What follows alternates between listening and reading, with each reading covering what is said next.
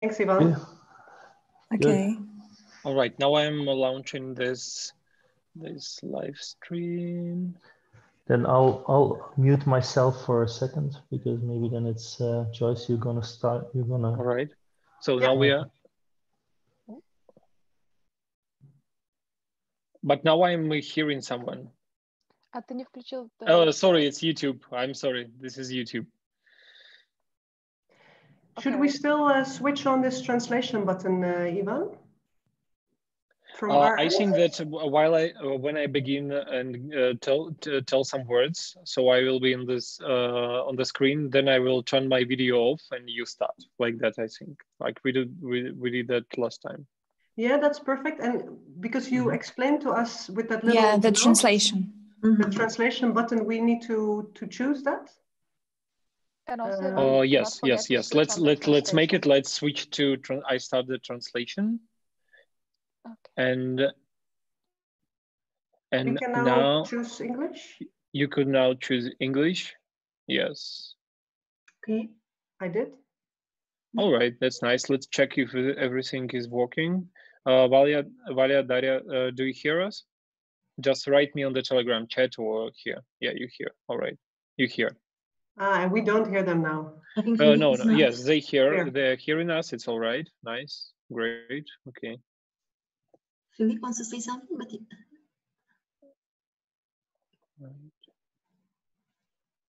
I think Philippe is on mute. Maybe you can tell us on WhatsApp, Philippe. Or Yeah, yeah. yourself. The, the, the problem. Uh, don't don't put uh, yourself on on on on mute because you can't um, because we can't switch it on ourselves or off. So I think we always need Ivan then to do that.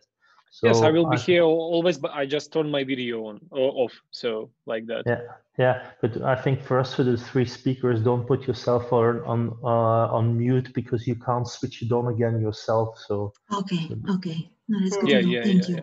I Okay. can actually, uh, actually, I can No, make but- you an uh, an uh, uh, a host, or because like we have, uh, we can make ten people a host. no, th- no, don't worry. Uh, just uh, I'll, I'll. I'll keep quiet then. for All the right, Yeah, right, no all worries. And maybe just one more point from our side, uh, Ivan, or because you're allowing people in the session, right? Uh, sorry, I haven't hear well. No. Oh, sorry, Ivan. We have one person, uh, Mark, from our team also joining. So he will not be All a right. speaker, All uh, right, but he's all a right. new member of the team. So he wanted uh, to mm-hmm. experience this as well. All right, great, great. Yeah. So I think that I'll check now YouTube. Is it all right? Yes, it's all right. And I think that we could start to to accept people who are waiting in the room. All right.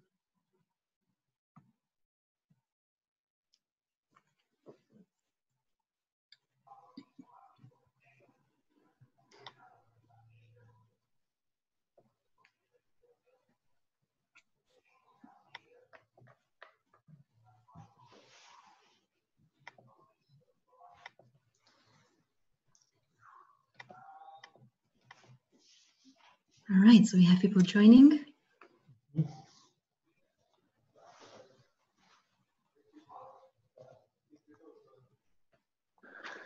Okay.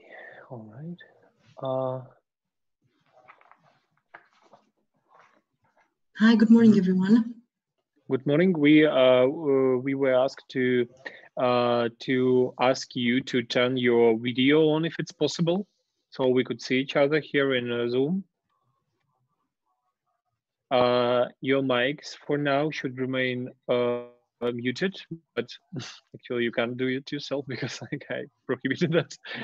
Uh, but if uh, we will have a discussion in the end of uh, our webinar, uh, I think that we could turn the mic on if if, if it would be ne- ne- necessary. All right, so we have now 20, 28 people here. I think that we will wait one more minute because uh, because we started 12 o'clock. All right.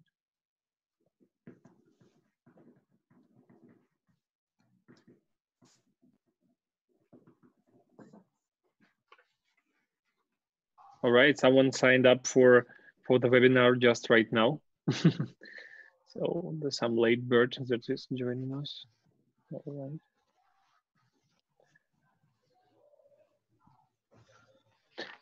Maybe just for now we should we should uh, we should hide the presentation because uh, like that.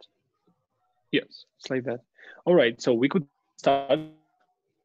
Yeah, mm -hmm. we'll explain now for people who just came how to how to turn on the trans translation tool, and Daria and uh, will uh, will will translate it to uh, to Russian. So uh, in order to uh, turn on your translation, you need to uh, to find a globe, and there will be uh, a word translate. you should press the button and choose Russian. It's easy. And uh, also, also when you will do that, we will try to make a test translation. Mm -hmm. Yes, I understand now that maybe you're not hearing the translators for now because you didn't turn the okay. я I will speak now Russian. Uh, добрый день, uh, господа, дамы. Uh, я объясню вам, как включить перевод. Значит, у вас есть меню, если вы сидите с компьютера, у вас есть меню снизу, там, где звук, видео все остальное, и там есть глобус, и на этом глобусе написано перевод. Нажмите на эту кнопку и выберите русский язык. Больше вам ничего делать не надо, и у вас появится перевод. Если вы сидите с телефона, то у вас в меню снизу есть три точки, нажмите на эти три точки, нажмите перевод, выберите русский язык. Вот. А, также у вас есть а, такой функционал справа а, возле списка, не списка, вернее, а возле участника. Вы можете нажать на галочку с вы можете нажать на галочку с зеленым цветом, либо на крестик, и тогда обозначите, услышали вы нас а, или нет. Все, да, работает. Отлично, хорошо. Вот у меня тоже работает. Замечательно. All right. Uh, now I will speak English. Mm, if uh, someone have some technical issues, please uh, contact us on uh, that uh, uh, on that Telegram chat we have for that issues. You can just write us, or you can write in chat. Если у вас будут какие-то проблемы, то у нас сегодня работает технический оператор Женя. Она ответит на ваши вопросы в чате. Чат вы найдете справа, э, справа внизу. Можете написать свой вопрос туда. Хорошо, все, мы все это поняли. All right, so we should probably start because we have 34 persons on uh, on uh, on Zoom and some people are joining on on YouTube. I think we should start. Uh, all right. Hello, guys, and welcome uh, to uh, SKLAD Online Educational Platform. My name is Ivan, and I'm your host for this, uh, I don't know, morning, or maybe if you are in Kazakhstan, it's late night. Um, before I introduce our speakers, I would like to remind you that uh, it's COVID today, and you should stay home and stay safe. Uh, also, I would like to ask you to subscribe to our YouTube channel. Uh, if you're seeing the stream on YouTube, you should just press the subscribe button and follow us on Facebook. Uh, after the presentation, we will give you links and also we will give links to our speakers' uh, LinkedIn or a website uh, where you can find some more information about the company they represent today. So now uh, I would like to introduce some people that are working on technical stuff today. It's uh, Evgenia, she's making She's a technical moderator. If you have some questions, uh, you can just ask them in the chat. uh, you can see the chat on the uh, right down side of uh, Zoom if you're uh, if you're if you're um, watching the stream from uh, PC or Mac, or if you are watching it from your mobile phone, you can see you can turn on the chat and you will see the chat. It's like three three dots on the downside of the of your of your screen of your phone. Uh, now we have two uh, people who are, uh, will help us with translation today. It's Daria and uh, Valentina. Uh, the first part will be translated by Daria, and the second part will be translated by Valentina. if you will have some issues with translation, you must not hesitate to write it on chat, just write it, and we will solve this problem. So now I'll give uh, the word to our first speaker. It will be Joyce Richards. Hello, Joyce. Hello. Hi, Ivan. Nice to be here. Nice to meet you as well. Hi. I hope everybody can hear me well. And uh, thank you for tuning in uh, today. It's really exciting uh, also for all of us to be connected in these crazy COVID times uh, across ourselves amongst the world. So it's really beautiful uh, that we can still have this interaction. Um, we're happy to be here uh, from the Kennedy Fitch team with all of you. Um, and Maria is going to share her screen with us. So while we speak, uh, we also have some slides for, uh, for reference. Um, let me just pause for a moment. Yes, thank you very much. And we'll do a first, uh, a short introduction on uh, who we are from Kennedy Fitch and also who my colleagues uh, are here with us, uh, tuning in from different locations. Uh, and then we'll be happy to take you through a story on the future of work. So what's happening in our world? What are some of the big trends uh, we're seeing and how does that influence the way we work together, but also how does it influence our HR profession? And then uh, we'd love to take you on a journey uh, on one of those fields that have become very uh, actual now for some of us, but that may sound as a bit of future still for some others uh, of us. We see that very varied across different companies, uh, which is the journey of employee experience. So we have a few things in store for you uh, that we'd love to share with you. And then we'd also love to keep ample of time for interaction so maybe you have some questions that are coming up while we speak. Uh, and also we're aiming to address the questions that you sent to us before uh, hand actually. Um, and if we can't cover all of it in the coming uh, two hours, uh, then we will make sure that we share with you uh, some of our answers afterwards. Now with that, if we could go to the next slide, uh, Maria. Uh, because who are we from, from Kennedy Fitch? Uh, we're actually uh, a team of people that uh, today are working in uh, consulting, united under the umbrella of, of Kennedy Fitch, and we're proud to be part of the Kennedy Fitch family, as we always say. but our backgrounds are not um, career or sorry career consultants or consulting backgrounds. We actually have worked in the fields uh, in the business fields, uh, often in HR or in HR specialist areas uh, for about 20 years. Now, if we indeed go to the next slide, thank you, Maria, you'll see our different pictures. Um, I'm the one on the first picture, um, and I have a 20 year background uh, in HR business partnering roles and HR specialist roles in multinationals. Um, and been with uh, Kennedy Fitch now for, uh, for about three years. So I'm happy to give the floor to Philippe, who will also introduce himself. Mm -hmm.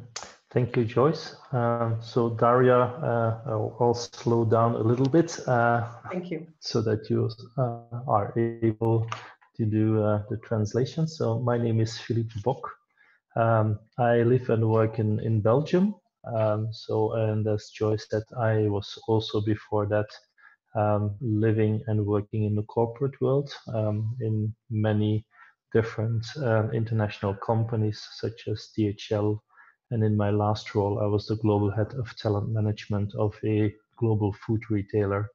And I joined uh, Kennedy Fitch in 2016.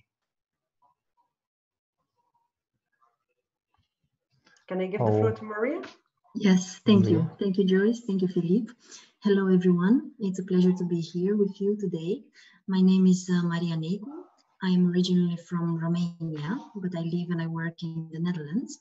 I have a background in consulting for human resources. I've also worked for Philips Healthcare in talent management, and I joined Kennedy Fitch last year um, in my work for Kennedy Fitch. I'm sorry, Maria. Maybe I ask you to speak up a bit because uh, the sound is now is not so, well. Yeah, thank you. Sorry, sorry for interrupting you. No, no worries, no worries. Um, so I was saying that uh, I joined Kennedy Fitch um, uh, last year, and I'm focused on employee experience. Thank you, thank you, Ivan, for notifying me. And we also um, should have had a colleague of ours, Melika, who unfortunately couldn't be here with us today. But um, yeah, we're grateful to be here with you. Joyce, should I move on? Yes, thank you very much. So we're happy to be here with the Kennedy Fitch team uh, for you today. Now, what do we do in our daily consulting lives uh, at Kennedy Fitch? We actually uh, bring to table three main activities. Uh, one is around executive search. Uh, we do quite some searches within HR, but also in other fields, uh, like in digital roles and digital companies. Then we do um, quite a bit of work on talent and transformation consulting, which we will give some more information on uh, also in a minute. And last but not least, we love to do what we call community building and knowledge sharing. Uh, so we love to bring people together, be it in conferences or be it in smaller scale events or be it in webinars like this, uh, where we can jointly connect and share uh, perspective, experience, knowledge, um, and to actually uh, strengthen ourselves as an HR community as a total. Let me just do a quick check if this is a right place for talking, uh, Ivan. Uh, yes, uh, I think that we should uh, we should start our presentation. Maybe if you have uh, some questions already, you can ask them. Uh, but for now, I think that we should move on. Maybe. That. Okay. Good. All right. Yeah. So let's uh, share a little bit of what we do on um, talent and transformation consulting, uh, because most of the uh, activities or projects we work on with clients are around uh, helping their organization go through change and build the required talent and leadership development along with this. Um, and what we try to do is not only uh, do that from a rational perspective, so help shape future and give guidance uh, or clarity on what that looks, uh, but also take people along uh, in, through their hearts, so feel like they want to be part of uh, this journey. Uh, so we work a lot with changes in mindsets and in behaviors, and we do that at different levels. So if we could go to the next slide. You see that we have interventions, as we call them, on an organization level, on a team level, and also on a personal or individual level. And examples of what we do at an organization level are, um, for instance, helping organizations to define their people strategy for the future, or helping them to go through uh, strategic workforce planning or build their employee experience approach that Maria will deep dive in a little bit later today. What we mostly do at team level, or some examples of those, um, are uh, working with teams. It could be leadership teams, HR teams, or other functional teams um, that in a united way, for instance, need to go through change, or they want to optimize the way they work uh, together, or sometimes they may want to address some tension or conflicts that are there in the team. And we help those teams through what we call team performance coaching. And last but not least, at an individual level, some examples are executive coaching uh, or being a sparring partner of uh, HR leaders or leaders in a company uh, to help them define their way forward. If we could go to the next slide. Thank you.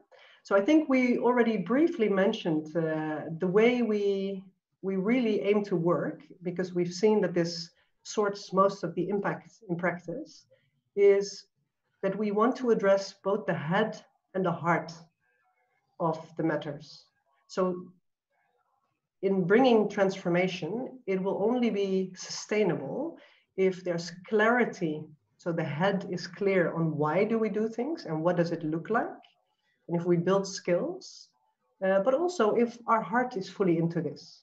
So if we believe in the story, if we are daring to shift our beliefs or our mindsets.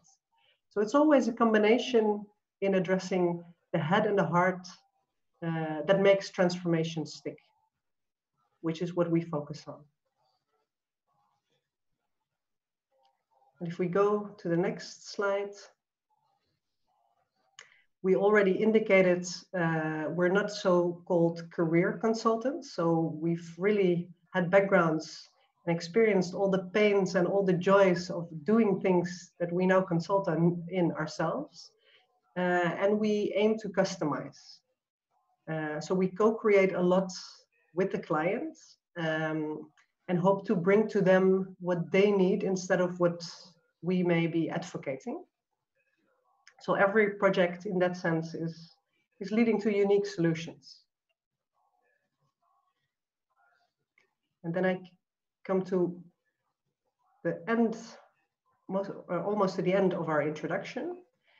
Um, yeah, we really do this because we we believe that this is the way that actually we sort most of the impact, but also, um, yeah, actually it's most uh, fun and engaging in working uh, together, uh, also with all the people in the organization. Um, and this is why we take it forward.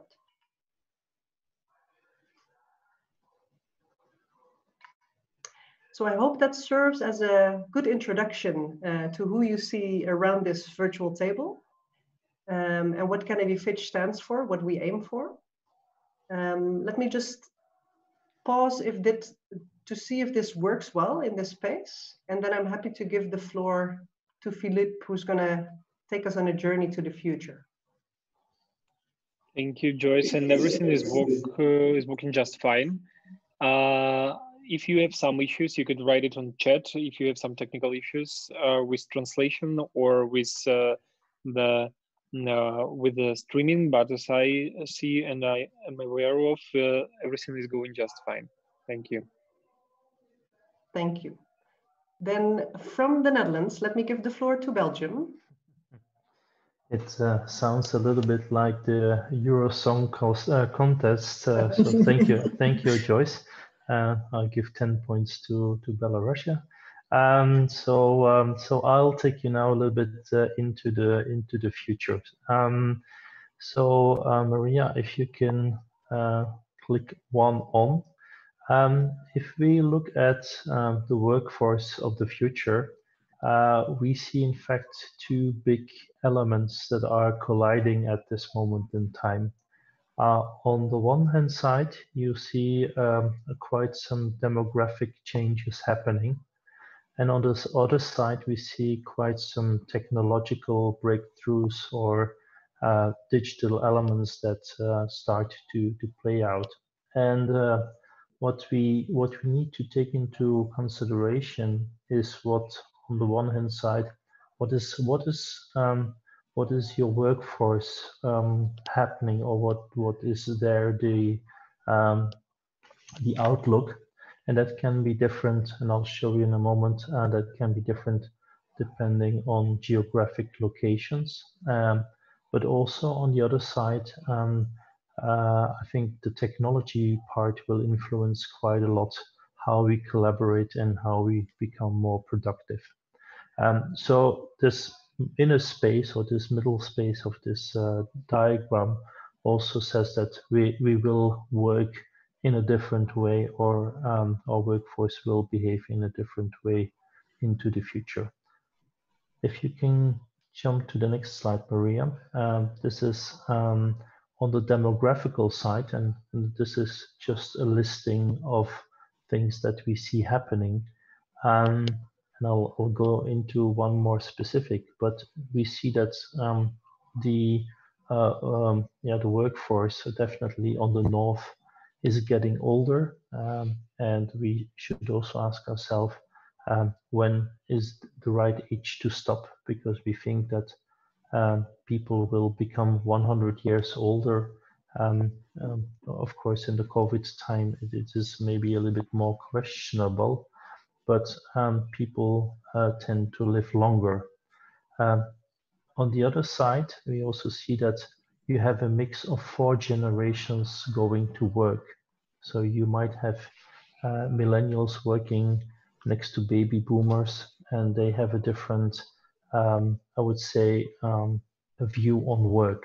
Um, if you look really at um, at where the the biggest potential from a youth perspective sits today, uh, you have, for instance, Africa, and um, uh, some some companies um, have uh, have really looked into the African workforce.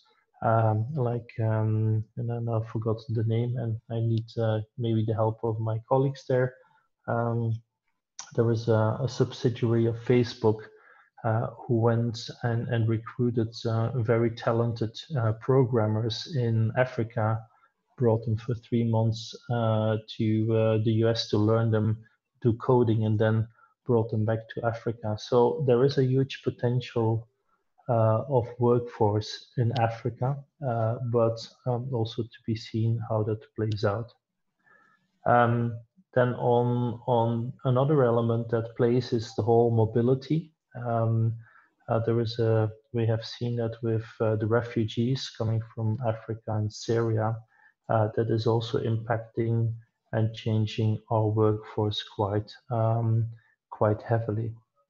And then last but not least, you have some um, some areas like uh, Japan uh, who have really aging workforce, um, and there they have to close schools. So you see, it is a very unbalanced um, way. Uh, if we look at, for instance, India and China, uh, they will produce a large part of um, the engineers and the, some of the graduates. So how does this influence our workforce of the future? So it's something you should think about.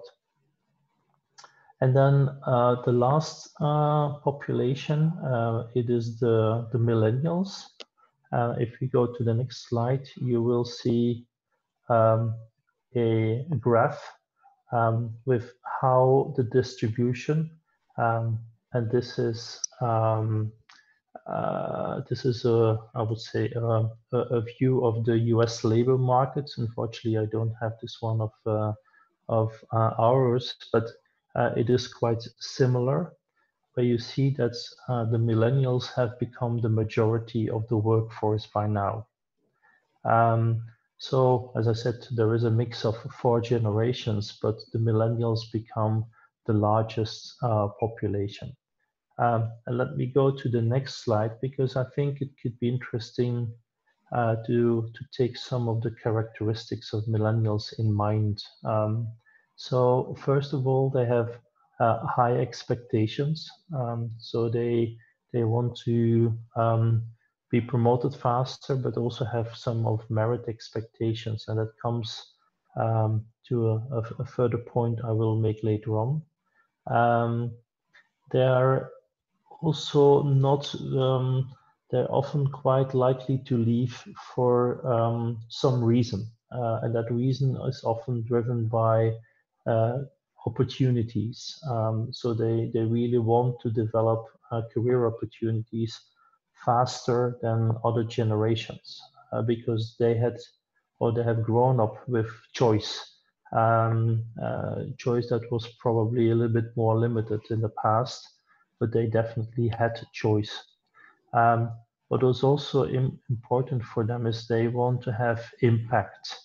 Um, so therefore, also we see more and more organizations uh, that are this purpose-led driven organizations because um, if an organization has a clear purpose, uh, millennials have easier to see what their impact will be on the bigger part. So I think it's also characteristic we see in organizations changing.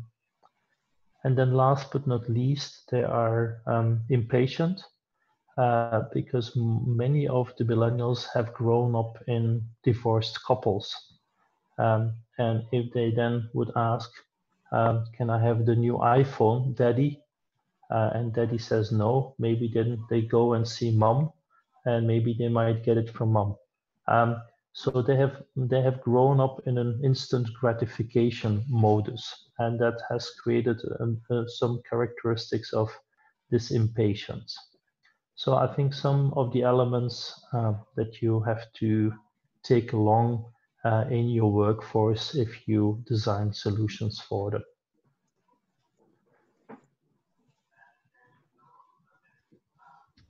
Let's go to the next slide. Then we'll uh, look a little bit into the technology piece. Um, so um, in technology, or we see a lot of companies um, that they they simply have to uh, change or to this or they will disappear. And you have multiple examples like Kodak and other companies that have uh, not digitalized or not uh, adapted themselves to the uh, to the needs of the, the digital world and they have unfortunately uh, gone bankrupt. Um, also another element, we see that uh, data or big data um, become uh, exponentially important uh, and, uh, and the massive or the amount of data that have been produced is, is, is really exponential. Uh, then we also see much more artificial intelligence, uh, deep learning, um, machine learning. So this is also something that's definitely influencing our workforce. Um, then the whole part of gaming and, and, and the, the virtual um, um, industry, but, there is a specific the, the, the point around competencies um, uh, that the, the when before you you came out of business school you could last i would say 30 years um, with your knowledge. Uh, now this has dropped to five years. And recently i read an article that whenever an engineer in germany comes out his or her part of the knowledge is obsolete uh, within six months to a year time so, uh, so the, the speed of which we uh, gain information is only increasing uh, massively. Uh, then mobile is everywhere. So we say that, uh, yeah, your mobile phone will become your uh, computer. And whenever you design HR solutions, it should be mobile proof. Um, so I think that that should be should be something to keep in mind. And then we have other technologies like uh, blockchain, um, and blockchain will create higher transparency. Um, so, and this blockchain uh, could be also applied to domains that are um, even non-financial. Uh, for instance, there is an example now in food retail with sustainable fishery, where they use blockchain uh, methodology to trace uh, where the fish is coming from. Um, so just to give you there some um, some ideas to to think about uh, how is technology going to influence your workforce. Let's go. Let's go on. Um, yeah, so th this is what what we see. So is um, and it's unfortunately also a little bit the same uh, scenario what we have been seeing with the whole COVID-19 uh, experience that that we have really um, are in front of an exponential world uh, because the the increase it is not a linear um, uh, I would say linear growth but you will see a shortage of uh, workforce, for instance, or you will see the exponential exponential growth of technology, and this will create a disruption. Um, and I can tell you as a as a recruiter, uh, so I'm, I'm I'm doing quite some search work. Um, before the COVID-19 uh, crisis, it became really uh, exponentially more difficult to find uh, talented people because there is a shortage uh, due to the workforce. The age pyramid in, in the Western world is upside down, and a lot of people are going on pension for the moment, and there is not enough uh, talent anymore to replace uh, the ones who are leaving. So there there is this disruption in the workforce. We see a lot of jobs uh, that that remain un, unfilled uh, at this point in time. So there is definitely disruption taking place in the workforce. Uh, let's move on. Uh, Maria, thank you. Um, another another element I think we need to take into consideration is also that um, the organizations from a structural point of view are changing. Uh, on the left-hand side, you see the classic model of an organization where most of the people are on the payroll uh, and a smaller portion that is um, was was built up by um, people who were independent consultants. Um, mainly, you saw this in the IT environment. Um, today, we see that this uh, contingent workforce is growing, so that this uh, the core of the organizations becomes smaller on payroll, and that the contingent workforce becomes uh, larger and if we look into the future, you will have a third uh, circle around that is also your machine um, capability. So what what is your um, what, what is your quality of your chatbots? What is the quality of your artificial intelligence? Uh, so you will have uh, a third layer that um, becomes larger, uh, and we think that we're gonna transition more and more into these um, in this into this kind of structure. And so the cost and the distance to a workforce will will change for sure. Okay. Let's move on. So this is an example of uh, as uh, so this is an example of the Netherlands. And so if you look at the workforce uh, around 60% uh, these days is still on payroll, and then uh, roughly the other 40% is uh, is contingent or is an, are some independent workforce. Now, um, an important element to put next to that is also that um, it each the, the medal has always a, a, a flip side. Um, so there is more flexibility, but also um, some people are also complaining because they're pushed more into this independent work for statutory.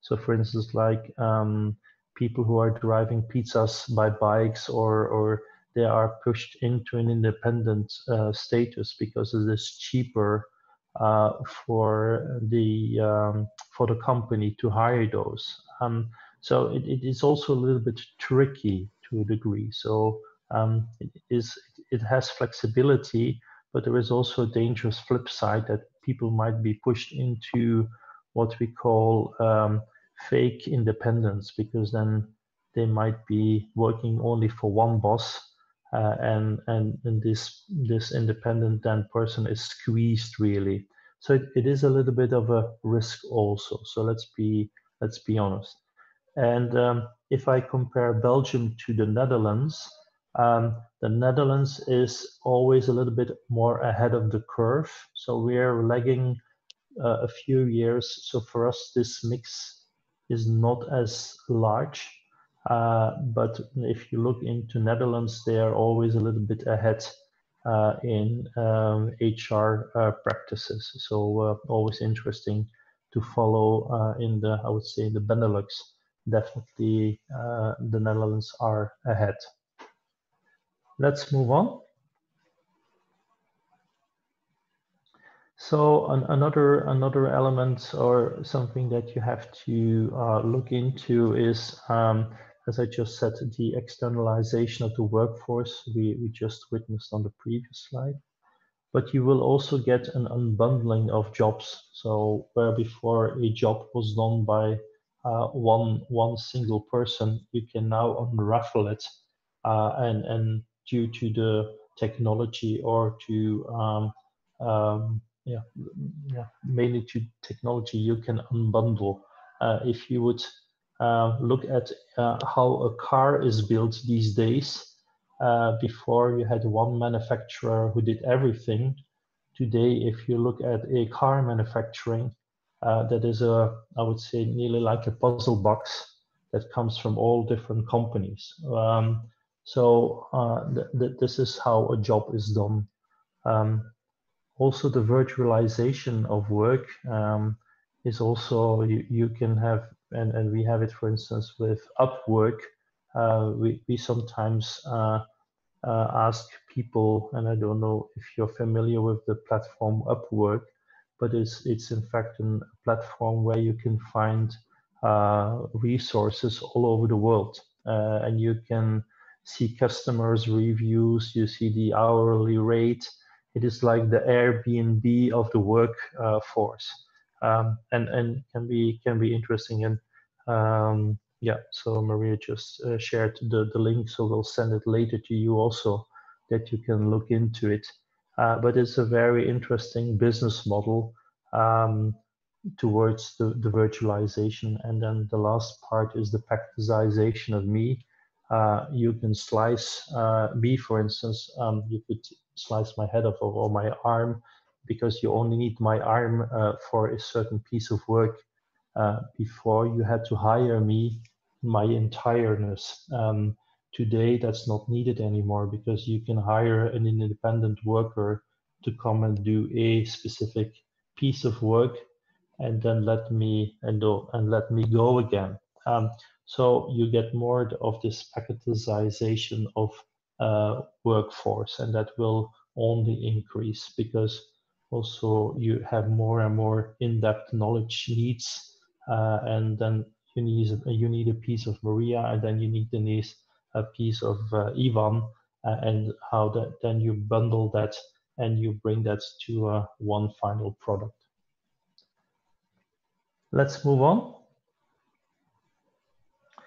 Um, so this is then a little bit more towards the work models, um, and this is also then I would say a um, a, uh, a, a further development.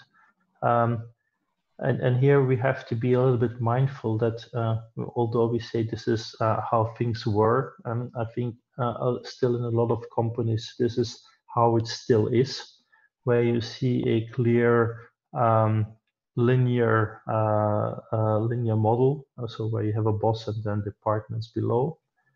In the future, we, we or how things are now, let's say, um, is is more a networked organization where people work in, in teams, etc. And in the future, uh, it will be a network of networks um, where you have then a free flow of resources and information. For the time, let's move on. Um, and then my final slide is also where this is how typical HR is, um, uh, how, how a typical HR structure, We can, yeah, this one. This is how typical an HR structure then would be designed and we have done structures and processes and systems for this kind of uh, constituency. But you should ask yourself the next, uh, if you go to the next slide, but you should ask yourself um, if you have to design new practices, uh, how will that then function in the uh, in the structure of how things will be? Um, so if you have to design HR um, practices and people pra uh, practices, how will they look like in a networked uh, organization rather than in this more classic um, uh, org chart structured one. So think about because I think we are moving towards these organizations. And with this, I'll pause. Thank you very much. Uh, thanks, Philippe. I'll take it uh, from here. Uh, we wanted to talk about uh, how we see HR evolving, actually, uh, on the verge of what Philippe has been sharing with us uh, in terms of the big trends and the impact on the future of work. But let me do one check before we go there, which is whether we need a small energizer we usually do energizers when we sit for some time. Uh, and we've been sitting for 40 minutes. So shall All right, we? that's a nice idea. yes. And usually when we do energizers, we do we try and make it a bit fun. Now I've I saw that we have not everybody has the ability maybe also to put their um, or the possibility I mean to put their video on, but if you can, it would be great if you can join us for two minutes with video. Should I also stop sharing, Joyce, so we can see uh, everyone yes, on the screen? Yeah. Yes, thank you, Maria. So I see a few videos. Is there a possibility to for more people to put their videos on? Ah, great. I see some Nice to see everyone. faces coming up.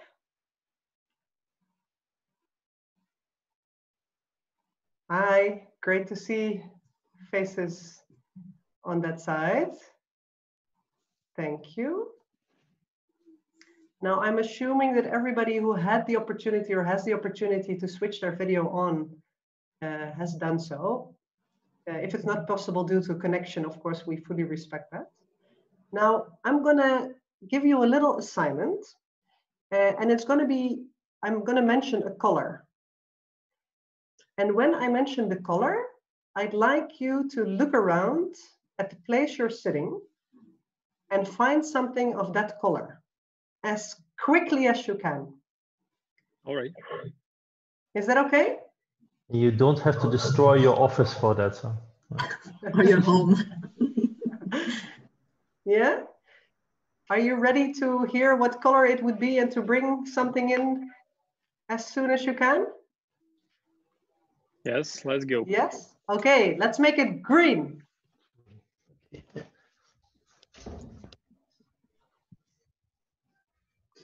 Green pen. Oh, beautiful. Green plant. Nice. Green pen. no green. Got green a little bit pencil. green here. Green box there. Yeah. Green, Ah, yes. cool.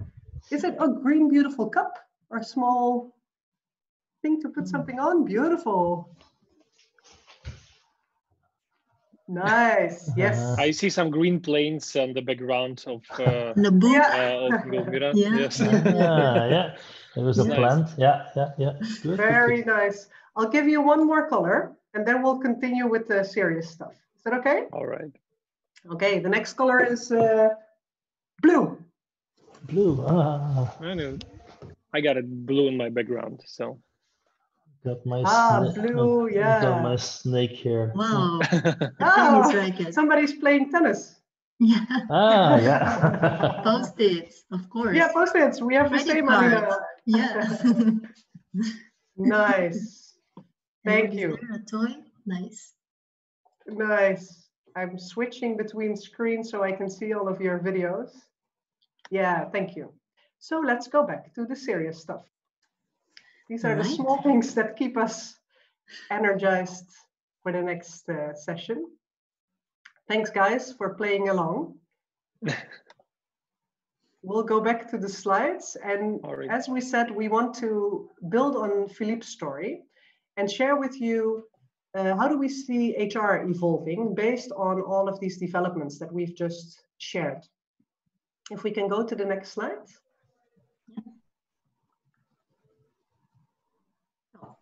That was the energizer. Energizer. Yeah. Perfect. So first of all, something something is changing in our paradigms, in our the way we look at things. And when we say it is changing, it may be uh, very much already there for some companies. Uh, it may also be really still out there in the future for some other companies. So this is not to say that all of us are moving uh, or have moved in this direction, but especially, for instance, if we look at uh, um, digital startups, they very much live, uh, at least the clients we see, at the right-hand side uh, of these um, convictions or philosophies. Uh, whereas we also still see a lot of companies uh, also that we work with more on the left side. But generally, we see this evolvement happening. Now, one of the big changes is the conviction from sort of we own or we manage our human resources, uh, as we say, the people in our companies, very much to, you know, we need to, uh, to sort of bring them in, lure them in, uh, convince them to join us, motivate and attract. So a very different, more almost consumer or customer oriented perspective. Uh, which, for instance, we see also reflected in, um, in our performance management approaches. So from a very, uh, well, forced ranking or ranking decided by leaders uh, through, for instance, calibration, much more a bottom-up perspective. So how do people feel about their work? What do they want and aim to develop? Uh, and what is their input to the company? Um, Philippe already shared with us the third point. So really moving from the perspective of talents are full-time uh, entities on our payroll, uh, much more in sort of integral perspective of our talent includes everybody who works for us in one way or the other, in one shape or the other. Um, which also brings an interesting uh, point for data and analytics, uh, where we come from a world where the company, if at all they would gather uh, personnel data uh, or people data, also it would be owned by the company. So it's in files or systems at the company side. Whereas we see a clear move to, especially with people uh, moving around from company to company or from job to job, um, that actually they are owning uh, and gathering their own data. And we may even see a moment uh, in the future where that data will have a value. So I would come into a certain company uh, for a certain time or for a certain job, and I would bring my so-called personnel data. Um, but dear company, you may need to pay me for it because you're interested in having these data points available on me and my colleagues. So it's quite a, a change in, in paradigm or perspective. Now, if we can go to the next slide. Um, there's a few examples uh, we wanted to share. And then we will also look at what typical HR structures or organization setups do we see. Uh, if you look at um, some examples, one big thing that we see happening, and maybe you, you recognize it from your side, is uh, what we call candidate-driven recruitment. So I've worked in multinationals where we just need to open the door and then talent would be very happy to work with us um, maybe it's a bit exaggerated, but more or less they would walk in and be happy uh, to have the job. Whereas now we see a complete change uh, that it's such a competitive space out there uh, that we need to put the candidate experience central because otherwise they will just choose to go somewhere else. So this whole candidate experience and seeing the candidate or the employee for that matter uh, more as a customer uh, is a complete uh, perspective change versus what we saw some years ago. Um, there's also an interesting one that says uh, the Netflix of learning. So from a situation where we have maybe one catalog with learning options, you can choose course A, B, or C, uh, much more an a menu of options where maybe one colleague chooses one thing and the other colleague chooses something completely different. And also to fill that catalog or that Netflix of learning, uh, there's a lot of crowd learning or sometimes crowdsourcing. Maybe you know something that would be of value for me to learn. So maybe you're part of sharing that knowledge with me when we're two colleagues uh, in a company. So quite some different uh, perspectives. Um, one additional interesting one uh, to point out is the performance management designed by employees. And this again is an example of um, putting the, the employees almost in the lead in designing uh, things or at least co-creating uh, with them. Um, and you see a reference to Uber, uh, this company, who has really gone to a lot of people in their organization to first decide or understand why would you want to have performance management? What purpose would it need to serve from your perspective? And then how are we as a company going to build that together with you? Which is, at least from a lot of the experiences I have from the past, uh, very different than you know designing this in headquarters and deploying it uh, through the rest of the organization and then only letting it land uh, with employees. Joyce, if I can just add there one point also Please. on, on performance management, we see also yep. that it's much more about the interaction and the on the continuous conversation between employees and leaders. So it is also changing there where performance management was a process that was once or twice a year uh, now to going really in a continuous feedback loop. Yeah, thank you, Philippe. And therewith, indeed, the conversation is much more around continuous feedback and development rather than a one time or two times per year well verdict or assessment of how you are doing. Yeah. Thank you. Now if we look at how does do we see this translate in uh, how we are organized or set up as hr teams uh, you would see this on the next slide um, and maybe you recognize this from your practices but what we see um, in a lot of uh, the classes that we have been taught uh, in our schools and in our practices, uh, we operate a lot on the left hand of this spectrum, what we call the Ulrich side. And Ulrich uh, has become very famous in uh, structuring HR, structuring operating models, bringing typologies for competencies in HR, for instance, where uh, maybe you have a classic one and an evolving one, but what they have in common on the left side of the page is that they are very company centric. So the setup of HR is reflecting uh, the setup of the company. And the focus is that we manage employees. Eh? We see uh, employees as asset, assets in the company almost, with a high focus on uh, increasing performance uh, through effectiveness and efficiency. So also the way we design our HR activities is often along, let's benchmark a very credible or leading company, and then let's apply the same thing or slightly different thing uh, in our company. So a lot of benchmark-based activities.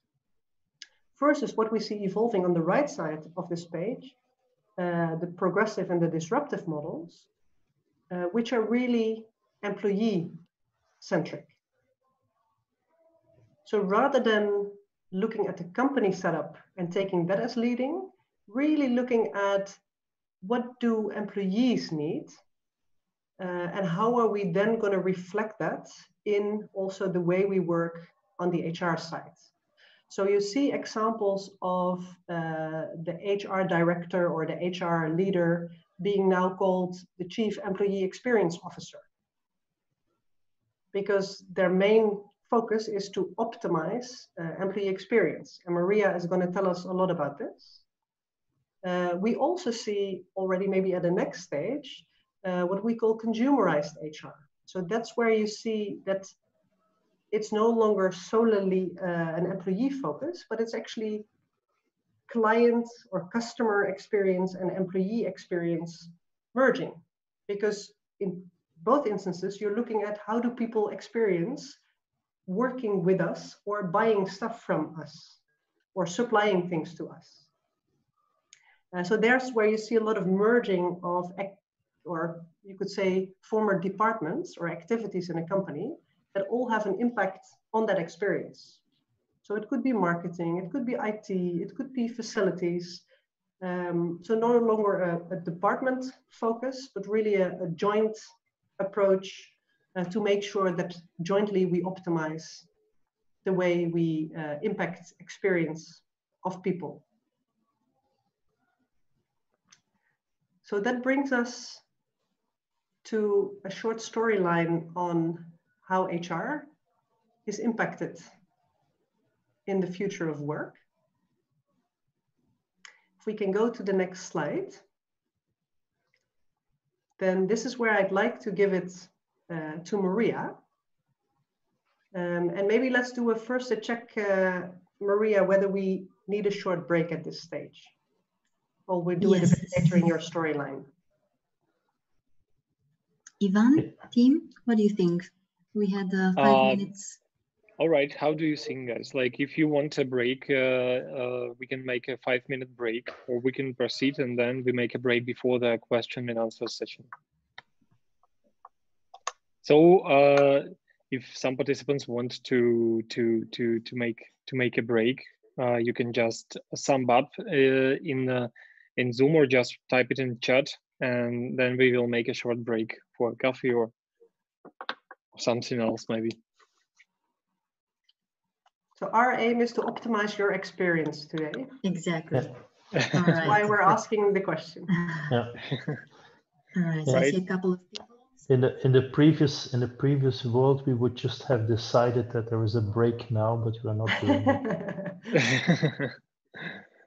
All right. So some feedback is one person said that no, we don't need that. Okay. All right.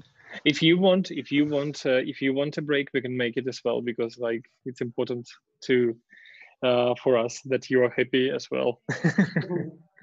Let's go Okay. on and maybe we'll check again in uh, 15 or 20 minutes. Yeah. All right. That's, All right. that's good. Okay. please interrupt me if, uh, yeah? Yeah. Maria, just Alright. just from well, just from the sound, maybe. Yeah. Yes. Is it better like this? If you get a little bit closer to the screen, it's it's it's it's a little bit better, Yeah, I think. Yeah. Okay. Go. All right, perfect. Thank you so, so much for notifying me, Philippe.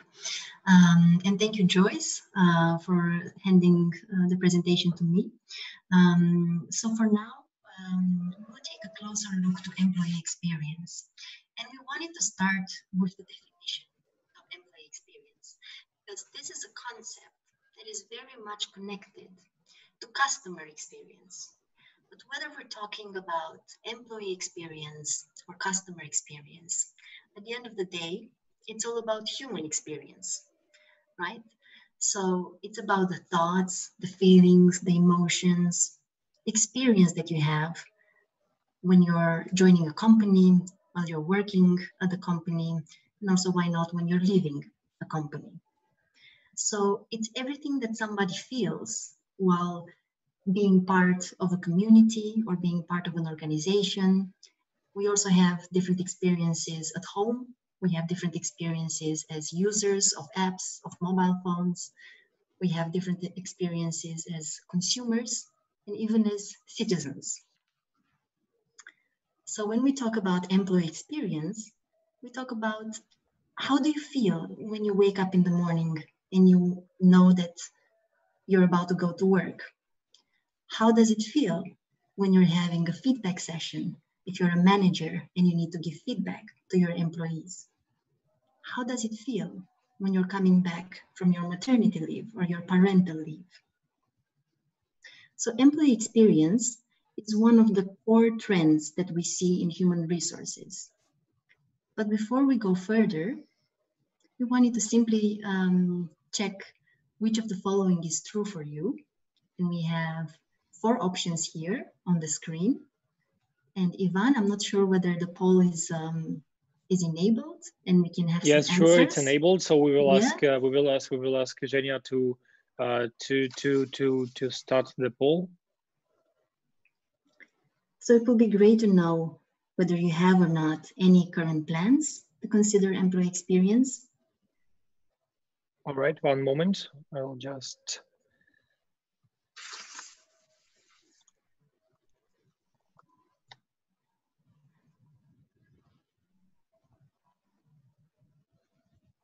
So if you have no current plans to consider employee experience, that's option one.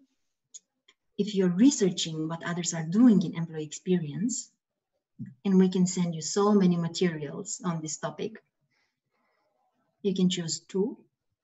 There it is. Yeah. Yeah, There there it is. You can vote now. Yeah. Maybe some of you are already getting started with employee experience.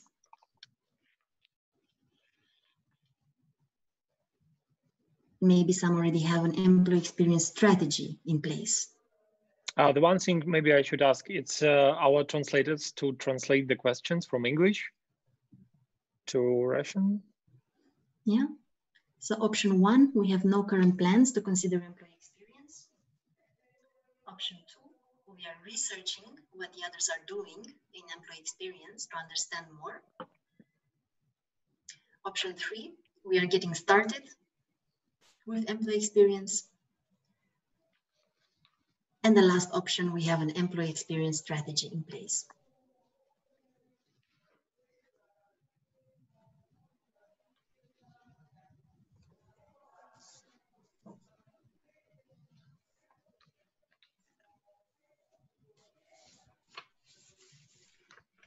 Right, 10 people uh, have already voted. Yes, I cannot see the answers because I'm sharing my screen with the presentation. Yeah, yeah, Maybe yeah. we'll- Ivan, we'll- we'll- sure, sure, I will me. tell you. Yeah. Uh, now 11 persons curious. uh, have uh, voted, 27% are for we have no current plans to consider. Mhm. Uh, 27% are for the second options. We're researching what others are doing in play experience to understand. Wonderful. Wonderful. And uh, almost uh, the half of people uh, telling that we are getting started with employee experience. awesome. Yeah, Very good. That's great to know. That's great to know. Thank you so much. So, so for now, I will hide it, but you can vote because not everyone have voted. All right. Mhm. All right, perfect. So let me just go on with um, the fact that investing in employee experience has a very solid business reason. So we have been researching multiple companies and we saw that um, there, is, um, there is a business reason behind investing in experience. Companies that are taking care of their employees companies who care about how their employees are feeling are performing better. So they get better business results. It's also from a perspective of positive psychology. So, as we know, if you're happier, you're simply performing better. Now I just got the, uh, sorry, I got the answers from the poll on my screen, but I'll just click back. Oops. All right, so here you can see um, a couple of data points on how companies that are investing in employee experience are doing better than the others. So just to move forward, we've been in the past three years researching, as I mentioned, and interviewing companies that have started with employee experience. We wanted to know the reasons why they wanted to do this. So here you have some of their answers. Some organizations have done it in order to build a stronger culture. Other organizations have done it for a business reason.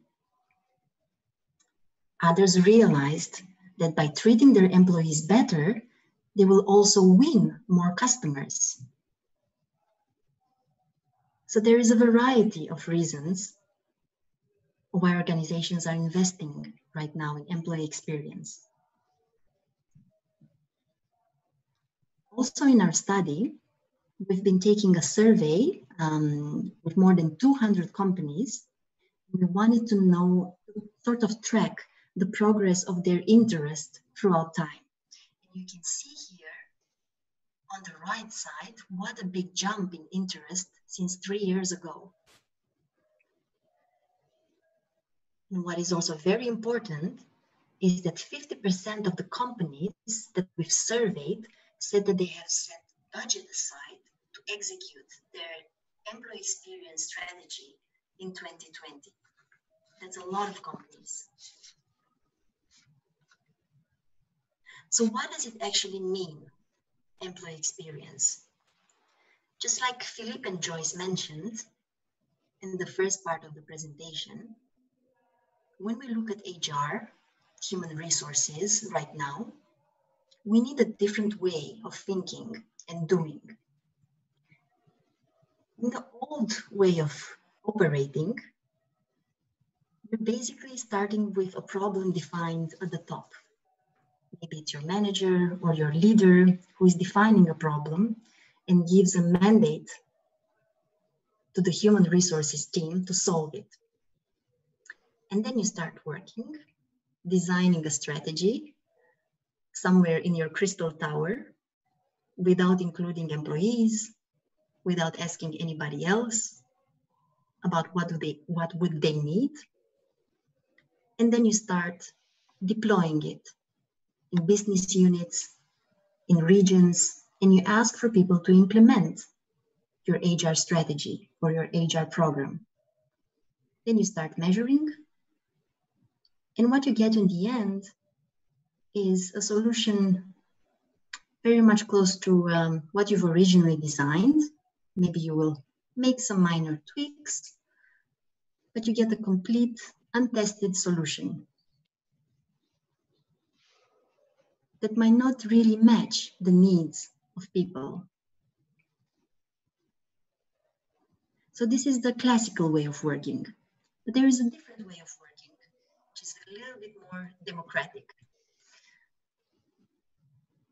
For employee experience, the basic idea is that you co-create with employees. So you define the problem by those who are closest to the source. If you want to build a new learning program, the first starting point is interacting, interviewing, talking to people who would be using that program, right? So you study their reasons, their behaviors. Then you co-create together with them, analyze their experiences, what frustrates them when they're learning something new, or what frustrates them when they're coming back from a maternity leave, or what, what was exciting for them when they were a candidate in your recruitment process. So you start analyzing what, what are the issues. Then you start developing solutions, and these are prototypes. So it doesn't have to be a final solution. And you build new ways of working together with your employees, but you keep on testing and improving what you have built. So what you get is a solution which is prototype and tested. And the advantage is that the solution that you would come up with if you're co-creating with the employees, it's something that they will probably use a lot more than in the first version on the left side. Yeah, I will move on. Employee experience is built on three elements. Design thinking, which takes a human-centered approach. At the very heart of design thinking are the human needs. Behavioral science, also because understanding behavior means understanding why people are doing certain things, what motivates them, what brings them under a joint purpose. So really understanding how you can work with behavior and come up with solutions that really function in practice so that you don't create in a way that doesn't match what actually people need. This is about making human resources relevant to people. And the third element, cognitive and predictive analytics you have an opportunity to use multiple data points. Not only data points on, for example, how many people are seeing your job uh, post on LinkedIn, how many people are coming to apply in the recruitment process for your website. There can also be data points related to how how are your candidates um, feeling? What kind of feedback did they give you? How long did the recruitment process take? How much did they have to wait to get an answer, a positive or a negative from you? So the core of employee experience is design thinking, or focus on behavior and analytics. And just to dive into analytics, most important aspect is that emotion is data. So if cognition is helping us to make sense of the world, emotion assigns value. And this is something quite different from the way we are used to see the world, We're usually emotions at work and vulnerabilities, we tend to hide them. We tend to dismiss them. We tend to say that they are not important. But for employee experience, they are. We're relying a lot on getting to know and to understand what our employees are actually feeling and that's a valuable piece of information that is data. That is data we can work with. Because if we're doing positive things for our employees, the emotion goes on the positive side. So we can measure our progress. And of course, you have employee surveys, you have engagement surveys. People are telling you how are they feeling, whether they engaged or not. But if you're doing the right things, the engagement is going up. Yeah. Maria, ju just as you are pointing out engagement, I think it's also important yes. to um, to stretch the idea that uh, we, we also think uh, engagement surveys is also the old way of doing it uh, because uh, the organization decides what questions are asked to employees where in employee experience uh, we rather tend to stay away and co-create and uh, have more open uh, open-ended questions. Absolutely. Thank you so much philippe for adding that. So as philippe mentioned engagement surveys is just a company certain uh, set of questions to the employees but not really being engaged in a conversation let me dive deeper into design thinking because the three pillars of design thinking are empathy, ideation, and experimentation. And when we talk about empathy, it means really getting engaged and listening to how people are feeling and what they actually need. It's not about understanding an ideal situation, but what really happened to them. Really put yourself in their shoes and create a safe environment in which your employees can tell their experiences. Another pillar is ideation. So you're not supposed to come up with the perfect answer, the perfect solution from the first try. The whole point is to have multiple ideas and be able to expand the horizon of possibility. It's okay if many of the, these ideas will not be implemented in the end. That's, that's the point. That's the purpose. That's part of the journey. And the third pillar is experimenting. So you're not implementing a new program from the very start, but you are experimenting with small steps. You're testing those ideas with prototyping. You're getting the feedback of your users, you're getting the feedback of your employees, and it's okay to fail.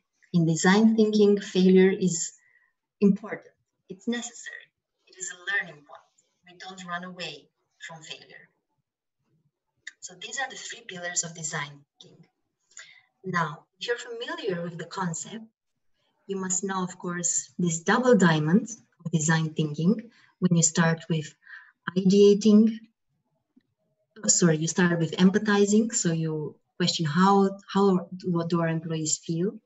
Then you define what is the actual problem that they have.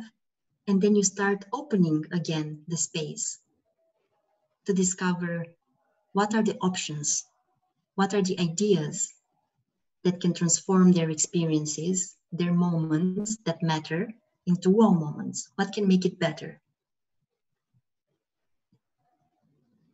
and then the prototyping and the testing stage. These are, this is um, taken from the Design Council. You can also explore more online. Um, the double diamond is famous because it has this divergence, convergence, divergence, convergence shape. So you open up the space to understand more. And then you want to define it, to define what is the problem.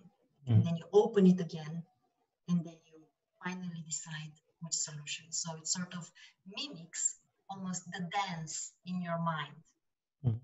I think I think what is an important what we just pointed out is in the middle part, so the design briefing or the moment that matters, um, because uh, sometimes we we tend to uh, start from an assumption, not knowing what the problem is, and by having the first diamond, you're really uh, opening up and then uh, closing it back down. And to say at the end of the first diamond you know what your what problem we really want to focus on. And then start again uh, the in the same process by opening up and closing again and come to prototyping and testing. So uh, i think this is the the classic one this is uh, when we know what the problem is so for instance if we say well, let's focus on onboarding uh, and then maria will take you now to the next one.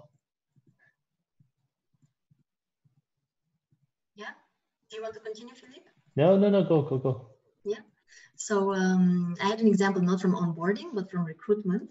Okay. So according to the first, uh, to the first, uh, to the initial slide with the double diamond, um, you already know that there is an issue with your recruitment process, you basically start just with the empathize and then you um, define what is the issue. Maybe um, you take too long to respond to candidates and you lose very good talent, right? And you don't want that anymore.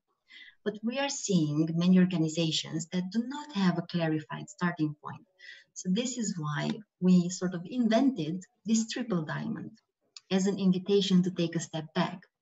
So when we interact with organizations that want to get started with employee experience, we sort of replicate an initial diamond in which we start by simply exploring what is happening in the organization, what are the narratives that our employees are telling, what different data points we have that we can use.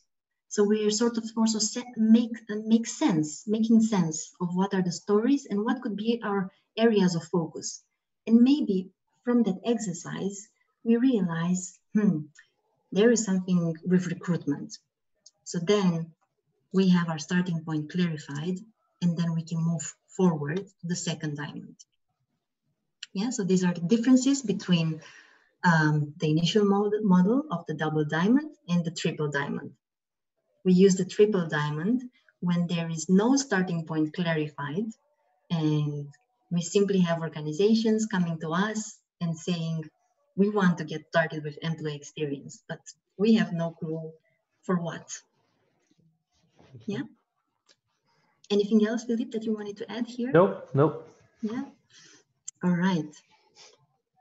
So let me give you just some examples because we've been talking about, um, I briefly mentioned, mentioned employee journeys. Um, this is actually a poster from a workshop uh, we had with um, a company in France. Um, and they, they created different employee journeys. Examples of employee journeys are, for example, my first week at work, uh, when I joined a new team, um, when I want to think about my next career move. My first week at the job, I mentioned coming back from parental leave, or if I quit my job. It doesn't necessarily have to be um, a human resource process, right? So, for example, if I'm coming back from maternity leave, maybe there is no specific human resource process for that. But it does matter how I'm being welcomed back into the team Maybe I'm feeling overwhelmed. I missed so much. There are so many new faces at the office. Who are these people? I've been missing out on so many things. I don't know anymore what my role is. So it's very important to take that into consideration. The example that you see here, as you see here in the uh, upper uh, right corner, it's a journey for my first week at work. So what have we done in this workshop? Uh, we gathered um, a small team and we ask them, oops, sorry, I just clicked, need to go back. And we ask them to tell us moment by moment what happened in their first week at work, right? So um, I was welcomed at the reception and then I went to my desk and I found my laptop and my phone and everything was set up, but something was not working. And then I met my, I was supposed to have a meeting with my manager, but he didn't show up. Um, and then I had uh, a colleague of mine taking me around, introducing me to people, and that was really nice. Um, we had a team lunch. Uh, I met other stakeholders. Um, I got to know more about my responsibilities and so on. So we really asked them, what do you remember from your first week at work? What worked? What didn't work? So the first row here defines moment by moment what happened and then below, in yellow, we ask them to tell us more about what actions everybody took. So maybe my, my email didn't work. I didn't have an email until the end of the first week. So I went five times to the IT team and I still couldn't figure it out together with them what happened. So these are the actions. And then below, you can see there are emotions. So we asked them to uh, really express their feelings. How, how was it that particular moment for you? And then we were looking at moments of pain. Here in red, you see a cluster of red post-its, which, which was an indication for us that that was a sensitive moment. So we have chosen this moment that was painful to explain, to explore further what can we do in order to change that experience so that for new generations of people who are joining the company, they don't get through the same pains, but they have a different positive type of experience. Yeah. Maria, if I just can add one one uh, additional observation to that one yes. is also um, I think what is also um, important if you look at the the emotions, so the uh, the, the the pains or or, or so so what uh, Maria pointed out, it is important to um, name the emotion. So, for instance, if they uh, felt angry or they were disappointed, uh, mm. when we when we know that emotion, then we can also do something because emotion is the closest closest to behavior. So yes. we then we can say if there was disappointment, then we have to do something to uh, repair the disappointment in our design. Then. Yes, absolutely and also positive emotions are equally yeah. important because those are giving us an indication of what uh, what excites people, yeah. what yeah. makes them feel like they belong in a team, in a company. Yeah. So if I'm moving on. Can I ask one question? Yes, Joyce. Can we do a quick uh, customer check on uh, energy, whether we need a break or an energizer? All right, let's do that. So guys, if you want to make a, a quick a quick break for five minutes, we can do it right now. Uh, maybe we should do that without, without waiting for reply. Let's take a five minute break. Ivan, can you tell us when to be back? So now it's, uh, let's uh, come back in five minutes. So it's uh, 1327 in Minsk, but yeah. I don't know the time uh, of the people uh, that are taking part in the, the webinar. So uh, so waiting for you in five minutes then. We'll restart. All right. Perfect. Thank you. Thank, Thank you. Goed, goed. Ik zit in, met Joyce en, en nog een paar collega's in een, in een, uh, in een call. Wij geven een webinar voor HR-collega's in uh, Belarussia of all places. Uh, mag, ik jou mag ik jou anders straks even bellen?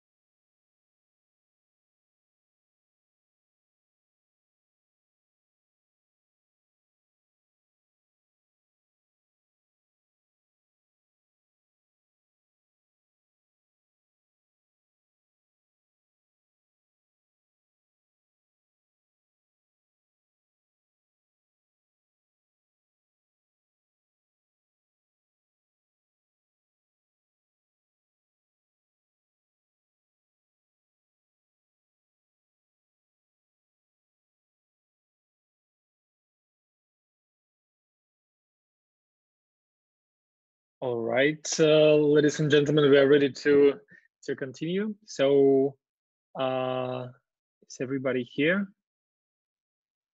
You could type in chat if you are here, or you can just sum up. All right, I see that everyone's here. So we can continue our conversation now and all right i need to turn your to yes thank you so right, much sure. Ivan. yes no worries no worries. All right. All right so uh, i hope everyone is back refreshed from the brief break. I will continue by um, giving you an example of an employee journey from an hr perspective. So if you're considering the whole life cycle of an employee who is joining a company, you basically recruit the person, then they're going through their first 30 days. Um, then there is, um, you know, performance discussion, what is expected of me, how can I be developed, um, uh, receiving compensation, my first salary, sick leave, succession planning, then maybe I'm deciding to leave and I'm being told goodbye. So this is the process from an HR perspective.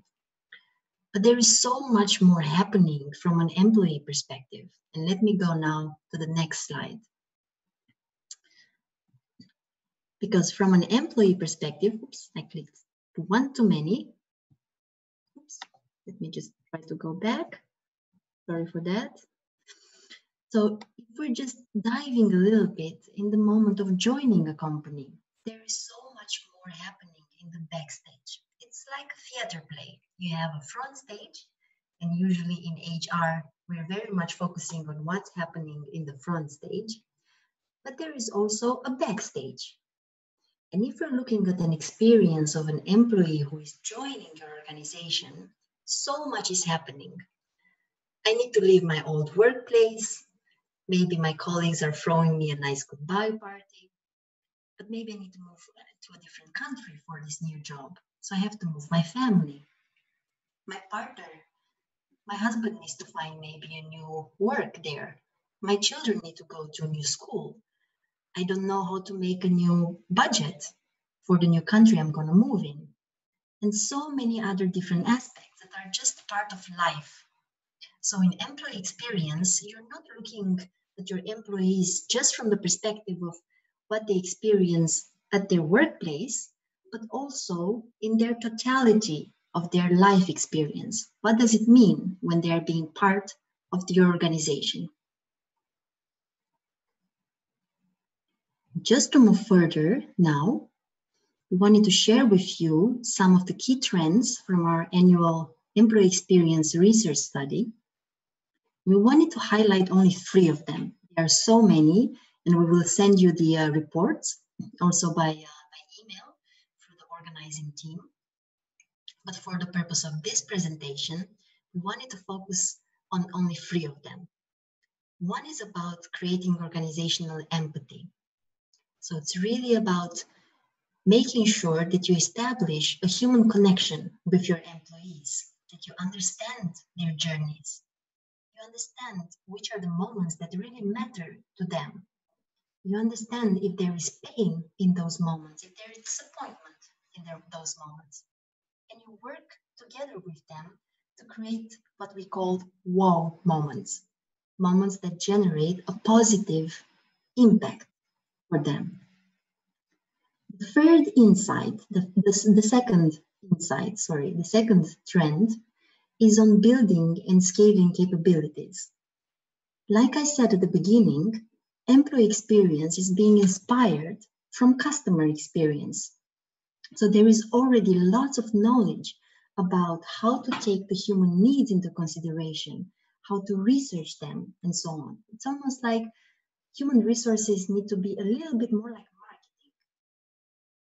And some of you in your organizations might already have great marketing experts.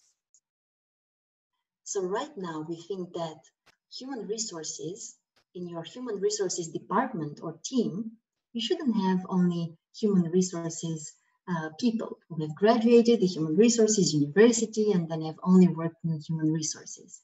it's also important to bring more discipline, multidisciplinarity.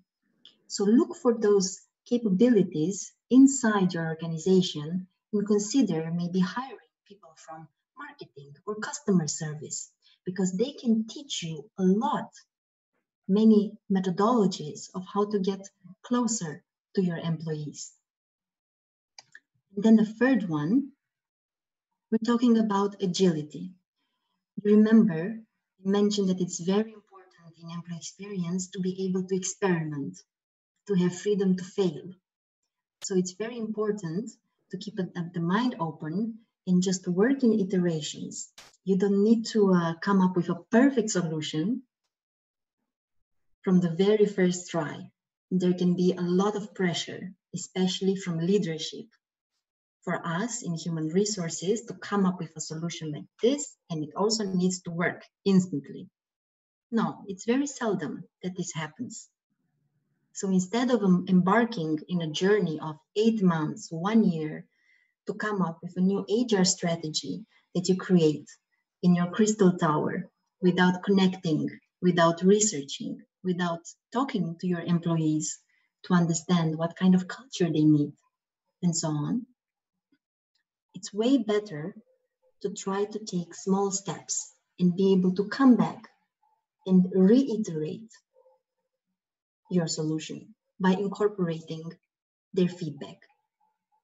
It's almost like I like to say that employee experience is more a like a democratic way of functioning in an organization, a more democratic way of working together with your employees. So I have only three slides left. Um, in terms of just very quickly, how we are usually working with organizations um, when we take them through this employee experience journey. We start with the user in mind. So we ask companies, how can you create value for your employees and who do we need to start researching and interviewing we invite them, we teach them how to do deep listening, how to take different data points from different systems they have. We help them define the right problem. There is always a risk to spend a lot of time and a lot of resources for simply the wrong problem. So it's very important to spend enough time in defining what is the actual problem that you want to solve. Then, together with them, we have workshops, activities, boot camps, and these are days that we spend together with HR leaders and also employees to get them involved in the process, to get them to co create solutions. And we always invite them to start small. It doesn't have to be big budget. It doesn't have to be uh, a big change because usually these are reasons for us not to go into action, but we want to make action possible. And then lastly, as I mentioned in being agile, we experiment. We learn, then we experiment again, then we learn. And for this process, it's like an iteration, we get to a more sustainable solution. Maria, just there as also as an um, uh, for the last part, it's uh, also one of the things we say: uh, try try fast, fail fast. Um, yes. And if you if you like from a sprint methodology, in in you can really condense that and and and do some prototyping, and then test it out and and take the feedback and then uh, either throw it away or or uh, improve it. But I think there are definitely the the element around speed um, and, and not being uh, hooked upon because sometimes with the classic approach, you design a performance management process and it takes you months and months and months and months to, de- to develop it. And then uh, you, test it out and people get um, really hooked upon their design and mm. they are not willing to let it go if it's let failing. It uh, yeah. yeah. So I think yeah. that's also yeah. an important one. Yeah, absolutely. Thank you so much, Philippe. So it's about not getting attached to the results if you invest so much in building something that you did not include others in building, and when you come out with it and it's being rejected, it's painful, but it's unfortunately a waste of, of resources. This is why it's so important to build together with others, come up with solution together with your with your employees. And I remember we learned that if um, you come up with your first solution, with your first experiment, if you're not a little bit ashamed of it, it means that you didn't get it right. You should be a little bit ashamed of your first solution because it's not supposed to be perfect. And you should be able to also let it go and expand it further. Yeah. So thank you so much for that, Philippe. so in the last slides, we wanted to um, give you just a bit of a taste of how we're working um, with different organizations um, in our boot camps. We usually start with helping them define the problem. So define which of the area of HR or maybe outside of HR that they would like to focus on. Um, and then we dive deeper into that with specific methodologies. So structured interviews, um, surveys, organizational um, observation, for example, shadowing. These are methodologies that we use in order to find more about what is the what is the problem and what are the narratives. And together with them, we uh, come together, uh, usually in two days of workshop, um, and we start mapping, as you've seen in the previous slide, there's a poster and we work with post-its um, to be able to tell what's, what is their experience. It's very important to let them tell their experience um, and not uh, and not interfere, not say, oh, from an HR perspective, this is wrong. No, it should be their experience and it creates a lot of empathy and understanding between HR and employees. So we want to understand what actually happens to employees. What do they experience? Not what is ideal and what kind of process we build, because their experience might be very different from the process. I think there it's also important to mention that you that you the more you can bring in real employees into this space, uh, the better Absolutely. your experience will be. Absolutely. So in our workshops, excuse me, we usually like to, um, we invite um, our clients to, um, uh, to really bring real people from people they actually, they actually want to build a solution for, not only people from HR. So it's very important to stay, to, to open the stage of co-creation. And then um, also in the bootcamp, um, we validate um, the problems that we've identified, the journey maps with the, um, with the targeted audience. Um, so we look for their feedback. We identify which are the moments that matter for them. And then we move into a hackathon. A hackathon is a very fun part of the day in which with different brainstorming methods, we push, we push a little bit the limits in terms of inviting them to think really broad. And we have sometimes really, really crazy and creative ideas of, um, of how to uh, how to make things how to make things differently. So, for example, we know of a company that wanted to include in their um, uh, onboarding uh, process um, going with the team together to an escape room. That's a type of experience that helps them to get to know each other better and creates uh, a more intense bonding in the team in their first week at work. So really, in this context, the, the focus is on creativity, and you don't, you're not judged for your, your ideas. The point is to come with as many ideas as possible, because eventually, one of them or a couple can be chosen to be taken further.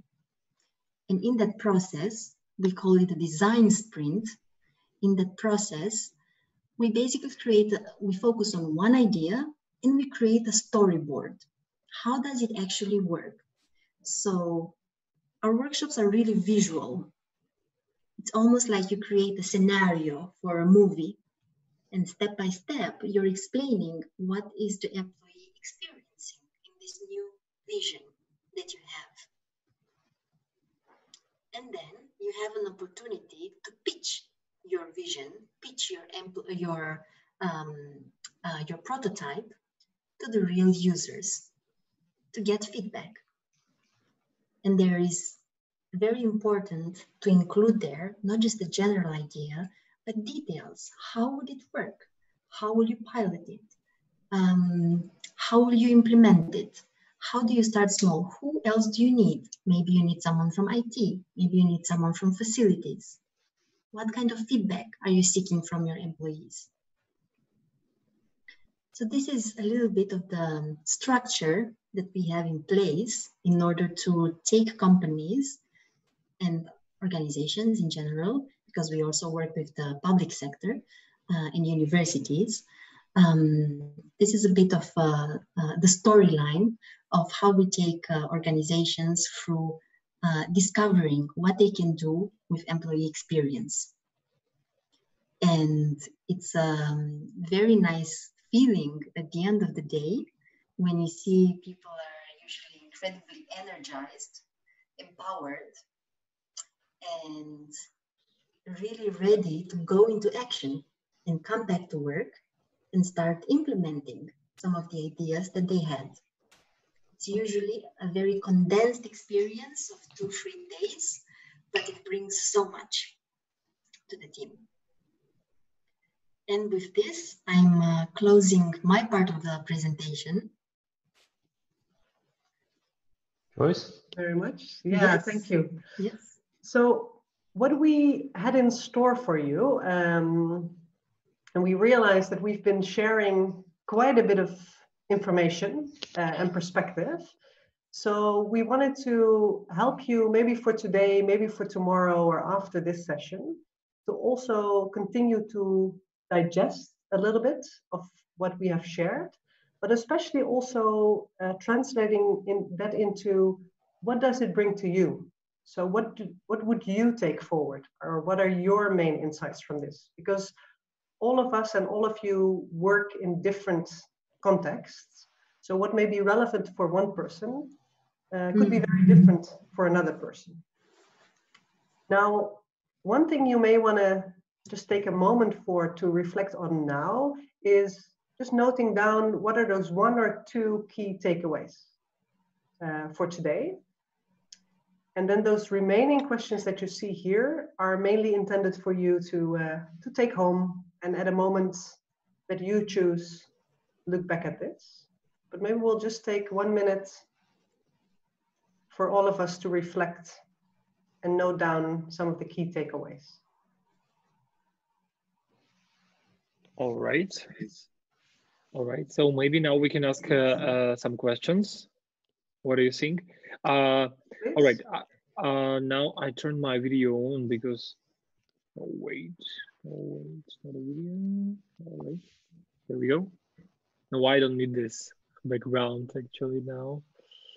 Sorry. Let's go. Um, all right. Uh, now I got. Uh, I want to thank you first of all because like it is really hard to to to make a, a presentation to speak for almost two hours. it's it's it's it's really hard, and thank you very much for that.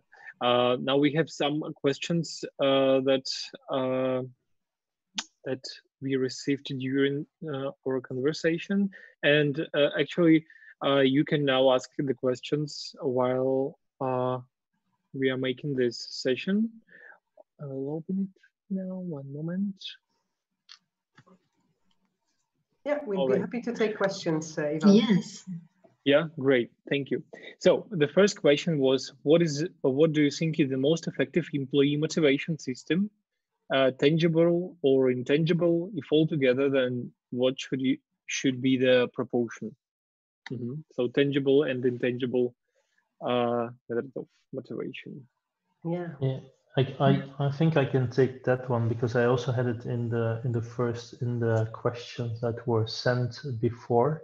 Um, I think the the motivational uh, part is is very individual. So I think there is not a one size fits all answer to that question. I think um, so. Um, definitely one that I don't believe in is that um, it, it's it's uh, salary, I don't think it's the motivational one uh, because um, you can have the best job in the world, but the worse uh, or a bad salary, it will not motivate you, nor the other way around. If you get a very high salary but not a, a, a good job, it will not be motivational. So I think um, salary should be, uh, I would say, a it should be at the right level, um, and and that of course is difficult to define. But I think what what really um, where I would say uh, from a leadership development perspective, um, know yourself as good as you can. Uh, what gives you energy uh, and what motivates you. So what if you have to get out of bed in the morning? What gives you energy? And that can be different for all of us. Mm-hmm. Uh, but but try to figure that out. Um, and if you can, I would say, personalize that um, to the maximum. So again, it comes to your, your people leader. Uh, your people leader should know you his his or her people as good as possible, and then try to to give them the best motivational environment. I would say, but mm-hmm. it is very individual. And yes, it's your direct manager who is responsible for. It is not HR's responsibility to do that. It is the people or the line manager, I think, who should be mm. in the front line for that. All right. Uh, thank you very much. Maybe the person who asked the question want to make some comment here. You can make it in chat or you can ask to turn on your mic. We don't have much time, but anyways, why not? All right, so you'll tell us. Uh, so we've got one more question. Um, it's about the uh, isolation time. And uh, of course, uh, the question is, what do you think when self-isolation and quarantine are over? Will everyone who works remotely now return to the office? Uh, for whom remote work has become a more effective solution, uh, for whom not? Mm. So it's like a more like a common yeah. question here. Yeah, I'd love to to react, but probably all of us have our personal uh, yes. experiences. Mm-hmm. No, I, I think we uh, what for sure we hear back, and probably also what we translate from our own um, experience, is it had has changed perspective. So we've seen environments where it was not at all the culture to work remote. Uh, that today realize, hey, business continues if all of us uh, work remotely. And also, we've seen a lot of examples where sort of combining or integrating your personal life or your family life, for instance, with your work life uh, has become much easier on the one hand, but sometimes also much more a challenge on the other hand. Because if I'm working at my kitchen table and my kids are doing, I have two small kids, uh, their homework uh, as well, it's much more difficult to focus um, than when I'm in a quiet office. So I think what this brings us is at least, uh, hopefully, um, a continued higher awareness of what it could bring and what the pros and the cons are. Uh, and I hope it brings us that we dare to make decisions uh, that could be different than how we did things in the past. Mm. And what exactly it looks like, that is a question per probably individual, per team, per company context. Yeah, just, just to add to that, I, yesterday I did a, a little webinar for a, a big pharmaceutical company here in Belgium on this topic. And many people reacted. They say, for me, it has also, because we have a huge mobility problem here in Belgium. So we're ah. stuck in traffic. And a lot of people said, I, I have I have now experienced that I have much more time.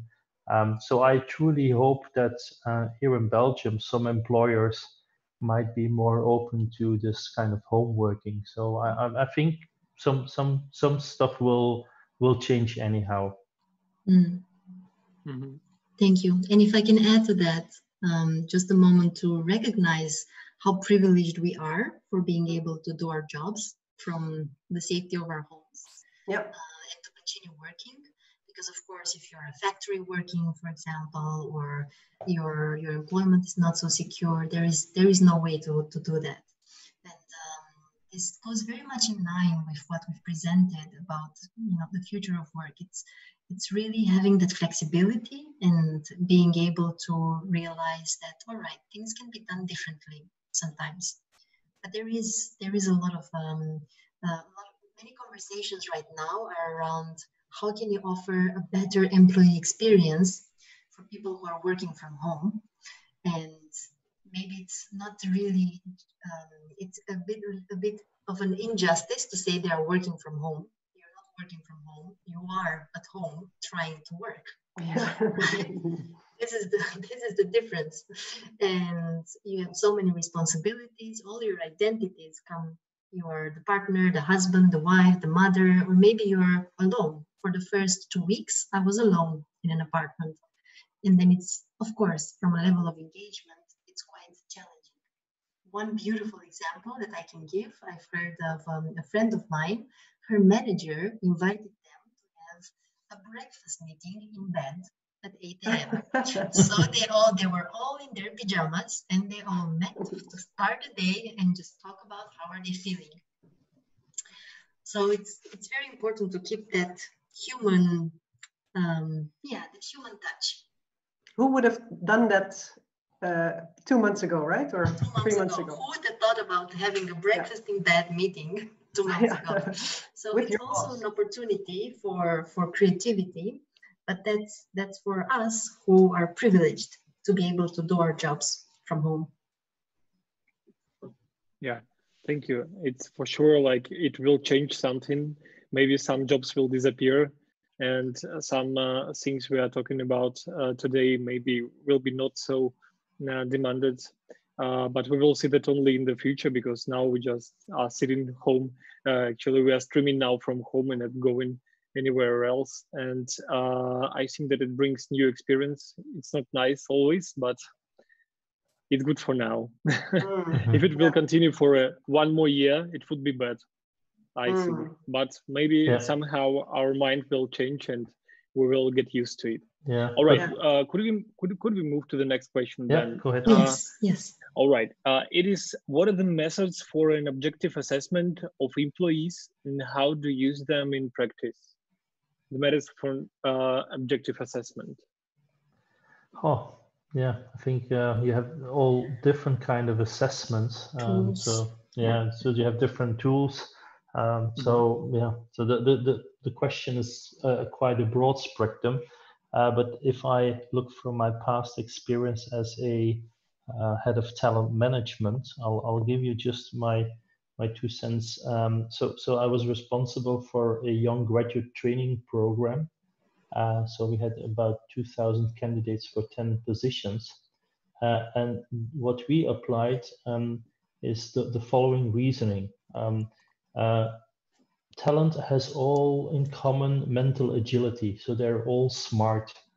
Uh, so what you can do is, is to first select on brain capacity. And therefore, what we use is, for instance, an abstract reasoning test. Um, and everything that was uh, above the median passed through and the rest dropped off.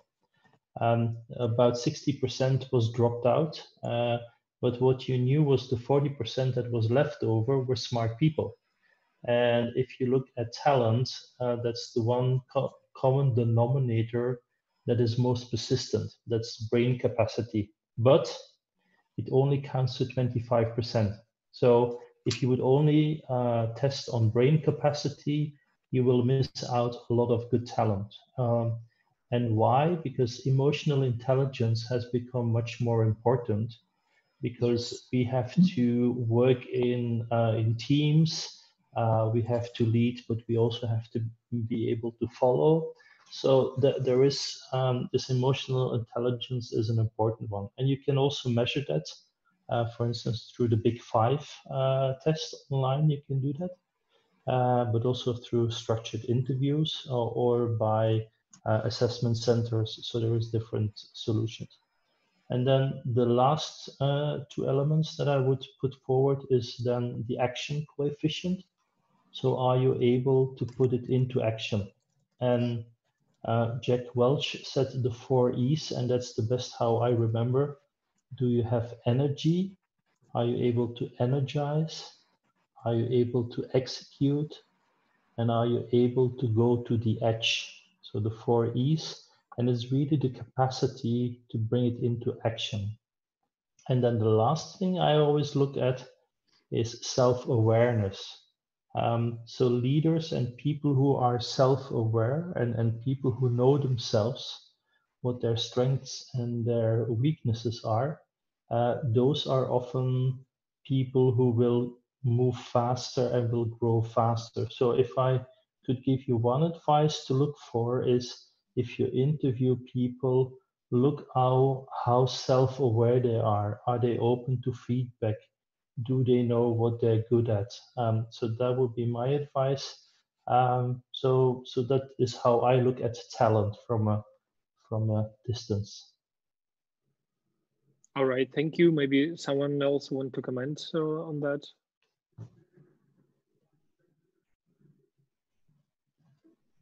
Do you hear me well? Yes, we can hear you. Yeah. Yeah, yeah. Maybe you want to make some comments on that, or we can continue to the next question.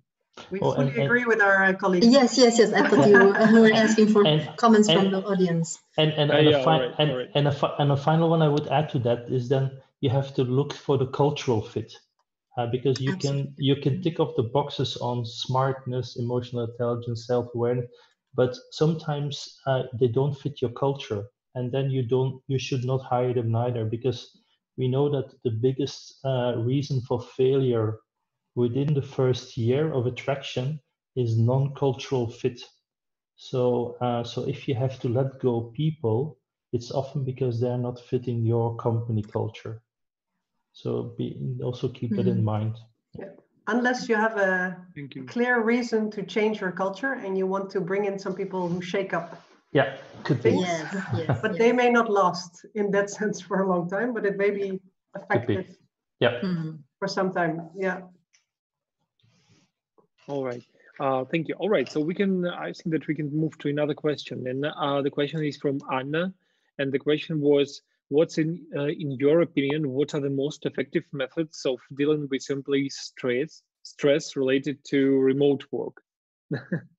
so Mhm. how, how should people uh, deal with employees uh, stress while they're working remotely? Mhm. Yeah. Yeah, Maybe I can- well, yeah, yeah. go. You go, try on, uh, on this one. Um, we've been reflecting on, um, especially observing on LinkedIn, how many people are jumping in with different tips and tricks and articles on how to be productive, how to make the most out of th- this time.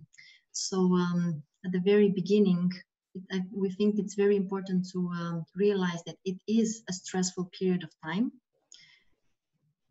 for sure we won't be able to be as productive as in regular life. So instead of always being focused on getting more done, being productive, being able to have a productive day just like you used to have, it's simply very difficult.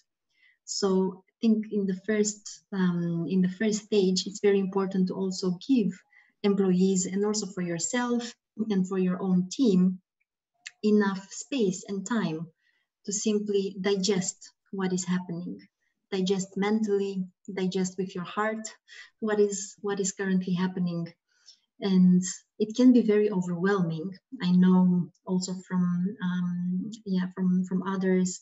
For example at work you might be having uh, meeting after meeting after meeting. You start at 10 and you have three meetings until lunchtime at 1 right now it's not possible to have that freedom anymore. So it's maybe mm, more mindful to put 10 minutes or 15 minutes and not make a full hour of meeting but have it 45 minutes a call and then 15 minutes break before you start a new one because it's just impossible to keep with the same rhythm If, if you want, uh, if I can, uh, as I just yesterday did the intervention with the other client, I can Yeah. add two two more things there. I think also as a people leader, I think you need to be very empathetic at this moment in time because people um, have to cope with a lot of stress. And um, uh, in Belgium, we saw um, they did a measurement uh, on the workforce, and they see that um, the, the toxic level of stress has been increasing, and they measured this two weeks into the corona lockdown, and it has tremendously increased. So mm-hmm. we know that there will be huge burnouts uh, in the next couple of months. Uh, so we, we know that the workforce is under high stress uh, because they ha- are very insecure due to the uh, coronavirus and it is, is big. Uh, so there will be huge, uh, huge um, impacts even further on. Uh, so I think as a people leader, we need to be very empathetic at this point in time. As Maria also said, um, or Joyce, the, the collision between our work and our life has hmm. become so, um, yeah, it has become one. and people leaders need to be mindful of that. Um, um, so I think that is an important one. And then also, as Maria just mentioned, uh, what what is your energy level? Um, and you need to know what gives you energy and what sucks energy. So at this point in time, you have to see if your um, your meter is going into the red. You have to find uh, things that gives you energy. I'll give you mine. When I was traveling uh, I was traveling 35% in my uh, uh, corporate life. I always had my running shoes with me because running gives me energy. Um, and today, I, I, also know some people that suck energy because they're always nagging.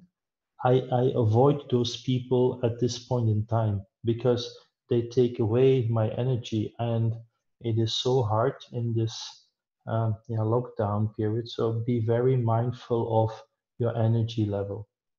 That would be my two additions. Can I add to this? So what we do quite sometimes is also give uh, what we call resilience trainings. So how how do you cope with change, and what does it do to you, and what can what lies in your power uh, to deal with those changes or those tough times most effectively? Uh, and one critical well, mechanism or tool or approach, if you will, is exactly what Philippe is pointing out. So energy management. Uh, and there's a lot you can do in reading up on the topic mm. if you like. So what I always, I apply it big time myself. So I know what drains my energy and I know what builds my energy. And uh, when there's stress, I would very consciously um, focus on these things that uh, build my energy um, and there's also nice uh, approaches on how can you help frame things differently in your mind. Because we have this tendency, that's the way our brain functions, to go into negative thinking spirals. Yes. And it's not because we're bad, but that's just the way we have been built. And it has helped us when we were escaping big dangers, right? Mm-hmm. Um, in like prehistoric times. But now sometimes it's not helpful to us. So understanding those mechanisms and doing the, the reframing of your thinking, uh, you could look at uh, rational emotive therapy or uh, rational emotive thinking. That is how you can reframe uh, things. Could be very helpful mechanism uh, as well. Yeah, yeah. Thank you. And if I can add Thank to you. that, yeah, now we get passionate, huh? Yes, yes, it's a very passionate. yeah. You can you add should... so many other things. Yeah. Yeah. yeah. yeah. Like meditation and yeah. yoga. And if you think about it, these are part of a well being conversation, well being component of uh, uh, the cultures of some organizations that was there also before this crisis, right? So, for example, with Philips, we had um, evenings in which we had yoga classes at work. So it's very important, and, and every Thursday we had half an hour meditation. So it's very important to pay attention to what can you do more for your for your employees, how can they uh, maybe sometimes even support each other. I've seen also uh, on some of the forums on LinkedIn, um, HR people asking um, um, um therapeutical psychological support online that they can provide to their own employees. Yeah. So this is a very important topic and it's being taken seriously all over the world. Yeah, we see some of our clients uh, actually scale up their activities on this. Mm-hmm. Um, on the well these times. Yeah. Yeah. yeah. yeah. All right, thank you. Uh, could we have some more questions, like two? I think that we have a little time for that. Because go ahead. some time for reflection. Yes, of course. Uh, so it's one moment. Uh, mhm. All right. Should I stop sharing Uh, my screen so we can see everyone? I think like I am Yeah, kind that, of lost that, that, without that, saying that would be people. appropriate. Yeah, that would be nice. Yes, all right, perfect. I'm just gonna stop so then I can All right. see everyone. it Uh, would be so nice right. to see more people. Yeah. Uh, so the question is, uh, have you worked with universities and you did? Uh, and what model do you offer them? Uh, not quite sure what is uh, model meaning here. Maybe you understand and uh, can comment on that. Yeah. Over to you, Philippe. Yeah. Yes, Philippe. Yeah. Yes. yeah, um, I am. I am the university specialist. No, no, I am. Um, I'm doing a project for about three years now at uh, the university at Tilburg, uh, and that that um, that is a very specific environment because um, um, it, it- it's around a leadership uh, model. So what what they said they they have not a uh, common leadership model. Um, and in the university world, you can only get for two things. You can uh, get some decoration, some some some credit. Uh, on the one hand side, it's your number of publications, so the research you're doing, and uh, to another uh, part, uh, yeah, what what how how good is your teaching? Um, but leadership is a little bit done on the side, um, and we have seen that it becomes more and more important to have good leadership because they um, the, the people leaders are really having huge teams they have to manage, uh, but also they have more and more external fundings that have to take place because research is uh, granted sometimes by uh, then uh, corporate organizations. So they the leadership aspect has become much more important. And uh, what we what we have done there is also from a co-creation point of view, uh, we have started with interviews with people, uh, and we have uh, interviewed uh, with focus groups and so on. In total, uh, about hundred people, and uh, from there on, we have built a um, a common uh, leadership model, uh, and it's called Connected Leading. If you look it up, also if you Google it, you can easily find it. Um, and it's about uh, yeah how how you build really a leadership model for the university environment. Um, so and uh, the, the main topics about uh, about it is um, also the starting point is growing self-awareness. So we do a lot of activities around uh, helping them to to know better who they are and what their strengths is. And we do this from out of a positive psychology approach. So uh, with gallup strength finder. Um, and uh, and then it's around uh, leadership is is about leading but also about following and it's also very much around dialogical leadership so lesser uh, because in a in an university environment it works better um, if you if you go into a dialogue instead of saying i know it all because it's very smart people and they all have an opinion on something. Uh, it's some, sometimes very tiring, uh, but I have a lot of great conversations with them. But um, so if you want to find out more, um, just just contact me, and I'm I'm more than happy to share. And Maria has placed some uh, information in the chat. as Yes, well. Yeah. yes. Yeah. Yeah, yes, yes, we see that. Thank you very much. Thank you. Uh, all right, we have uh, 20 more, uh, more minutes. So I got here one question. It's the question, it's, it's a very big question. All right. Uh, how do you see corporate culture is being transformed when organizations will be represented by networks of networks, as you had an, an example in your presentation, and when uh, all employees will be in different companies at the same time? Yeah. Can I uh, give a first response and then to my colleagues, uh, please chip in. So one thing that we foresee when uh, organization models become more loose, if you will, so it's more networks that are connecting together, is that it's very important to create common purpose and common direction. And maybe that's not a purpose or a direction for the coming 10 years. Maybe it's only for this project of collaboration, but to have a very clear understanding of why are we together and what are we striving to do. Uh, and it may take a bit of time to actually bring people together uh, from, a, from a mindset and understanding perspective to jointly define answers to these questions. So the more you have clarity on uh, common need, common purpose, uh, and also an understanding of uh, how do we want to work together? So what are some of the sort of agreed starting points of our collaboration?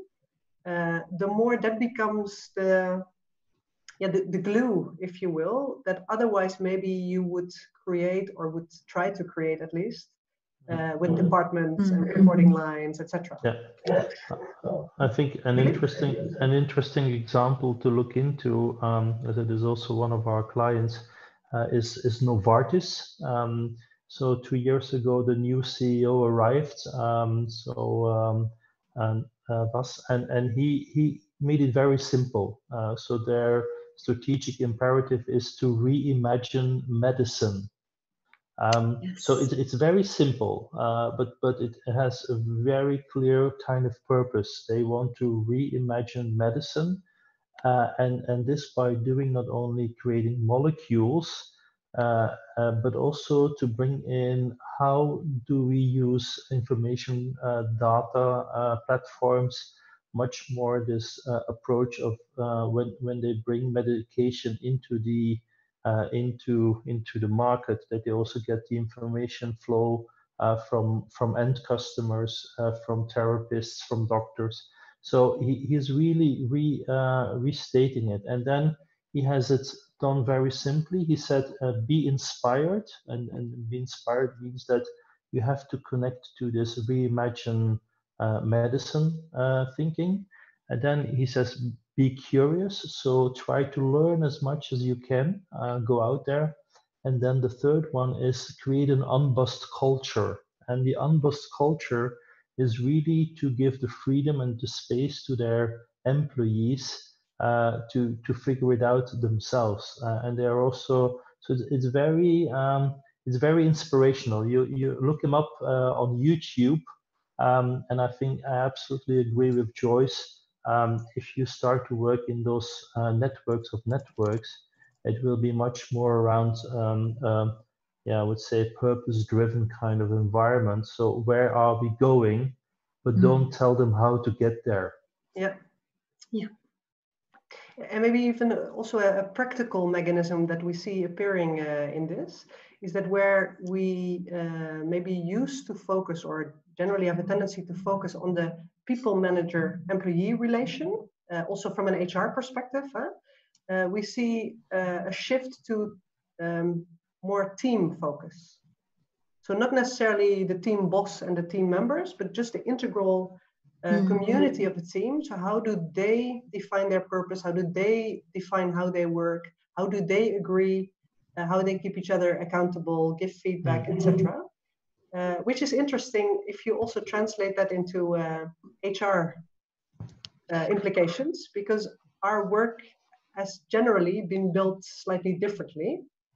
Um, and at the same time, it's a huge opportunity to scale things because instead of going from one leader to uh, one, one, one employee, you now just do work with one team. So we do quite a bit of team work, uh, working with uh, teams to uh, yeah, optimize their performance, their alignment, their quality of interaction, and their sense of purpose. And, and also, Now you get us going. Yeah, also one that is related to that is also that we see that uh, a, a number also to, to further build on the team aspect um, is that also that they move away from individual bonuses or individual uh, payouts so that they are saying instead of um, I, I give you a bonus, an individual bonus, I give you much more a team bonus. Mhm. Um, so, so it even goes to the extent that your remuneration is linked to team performance. All right. Thank you. Thank you so much. Uh, maybe we should make one last question and then uh, try to to reflect on what we've hear uh, what we're hearing here. I think that it would be nice because like it's certain minutes left. Uh, so if you if you if you give me a chance, I just read the last question. Uh, it is uh, it is question about motivation one more time, and it's question for Maria actually, but no doubt uh, you can also, Philip and Joyce, you can also uh, contribute to this uh, answer. How to motivate management not to look for problems and make some decision from uh, above, but work on the second track? Mm.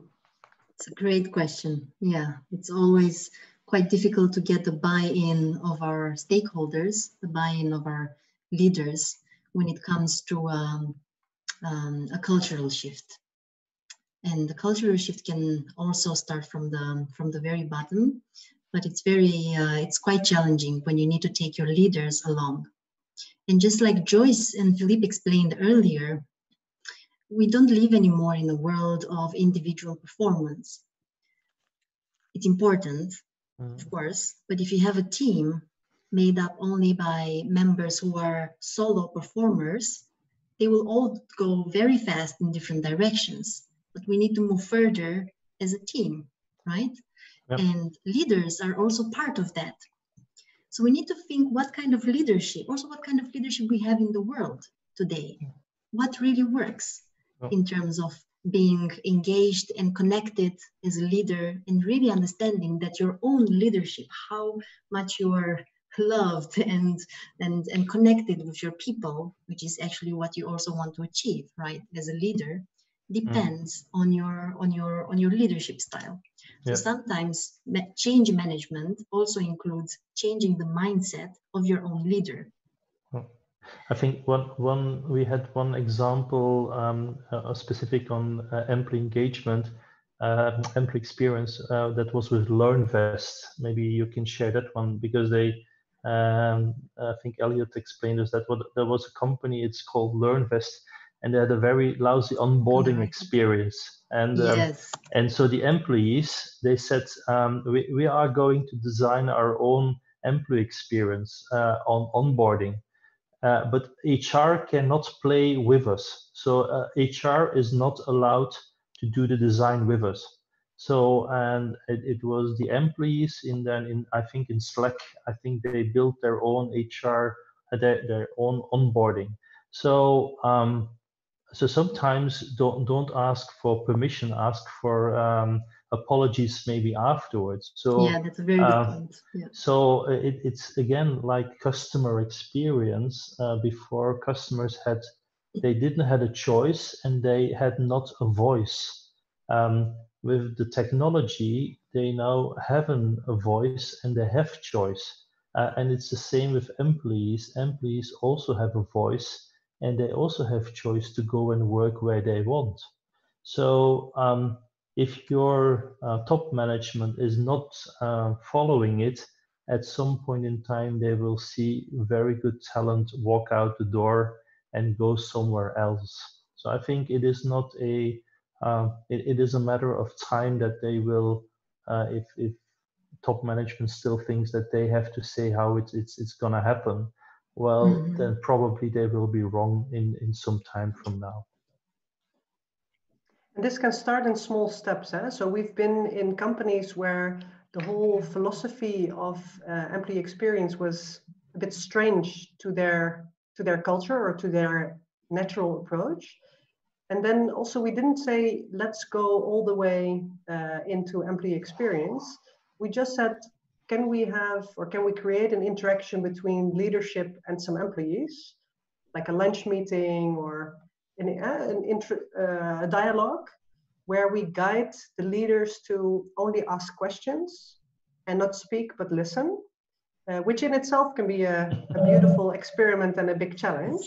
Yeah. Uh, it's a small step. So not everybody, not for every context it works to go like big full approach on employee experience sometimes you need to start it gradually small steps and sort of build the understanding and the conviction or the belief that it helps great yeah.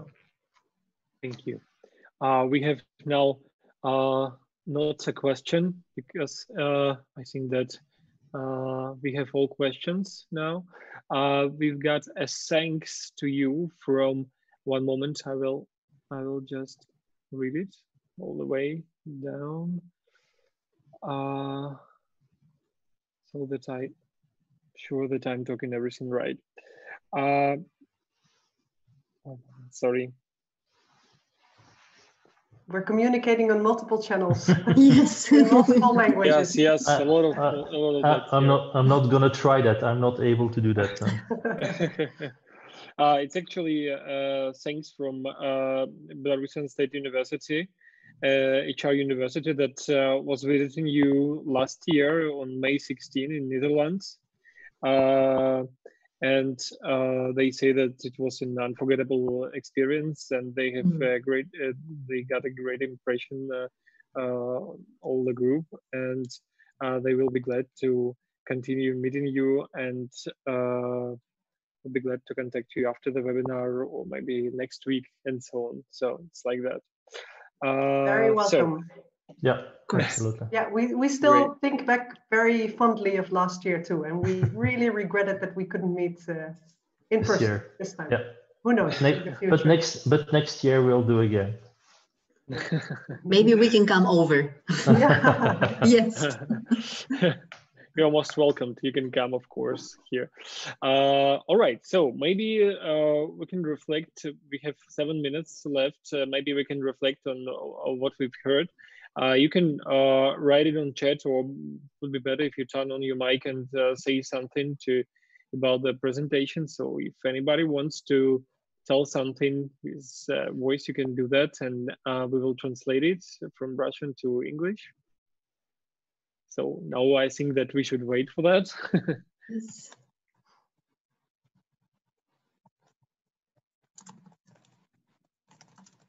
right, I got some message on my phone, maybe some impression.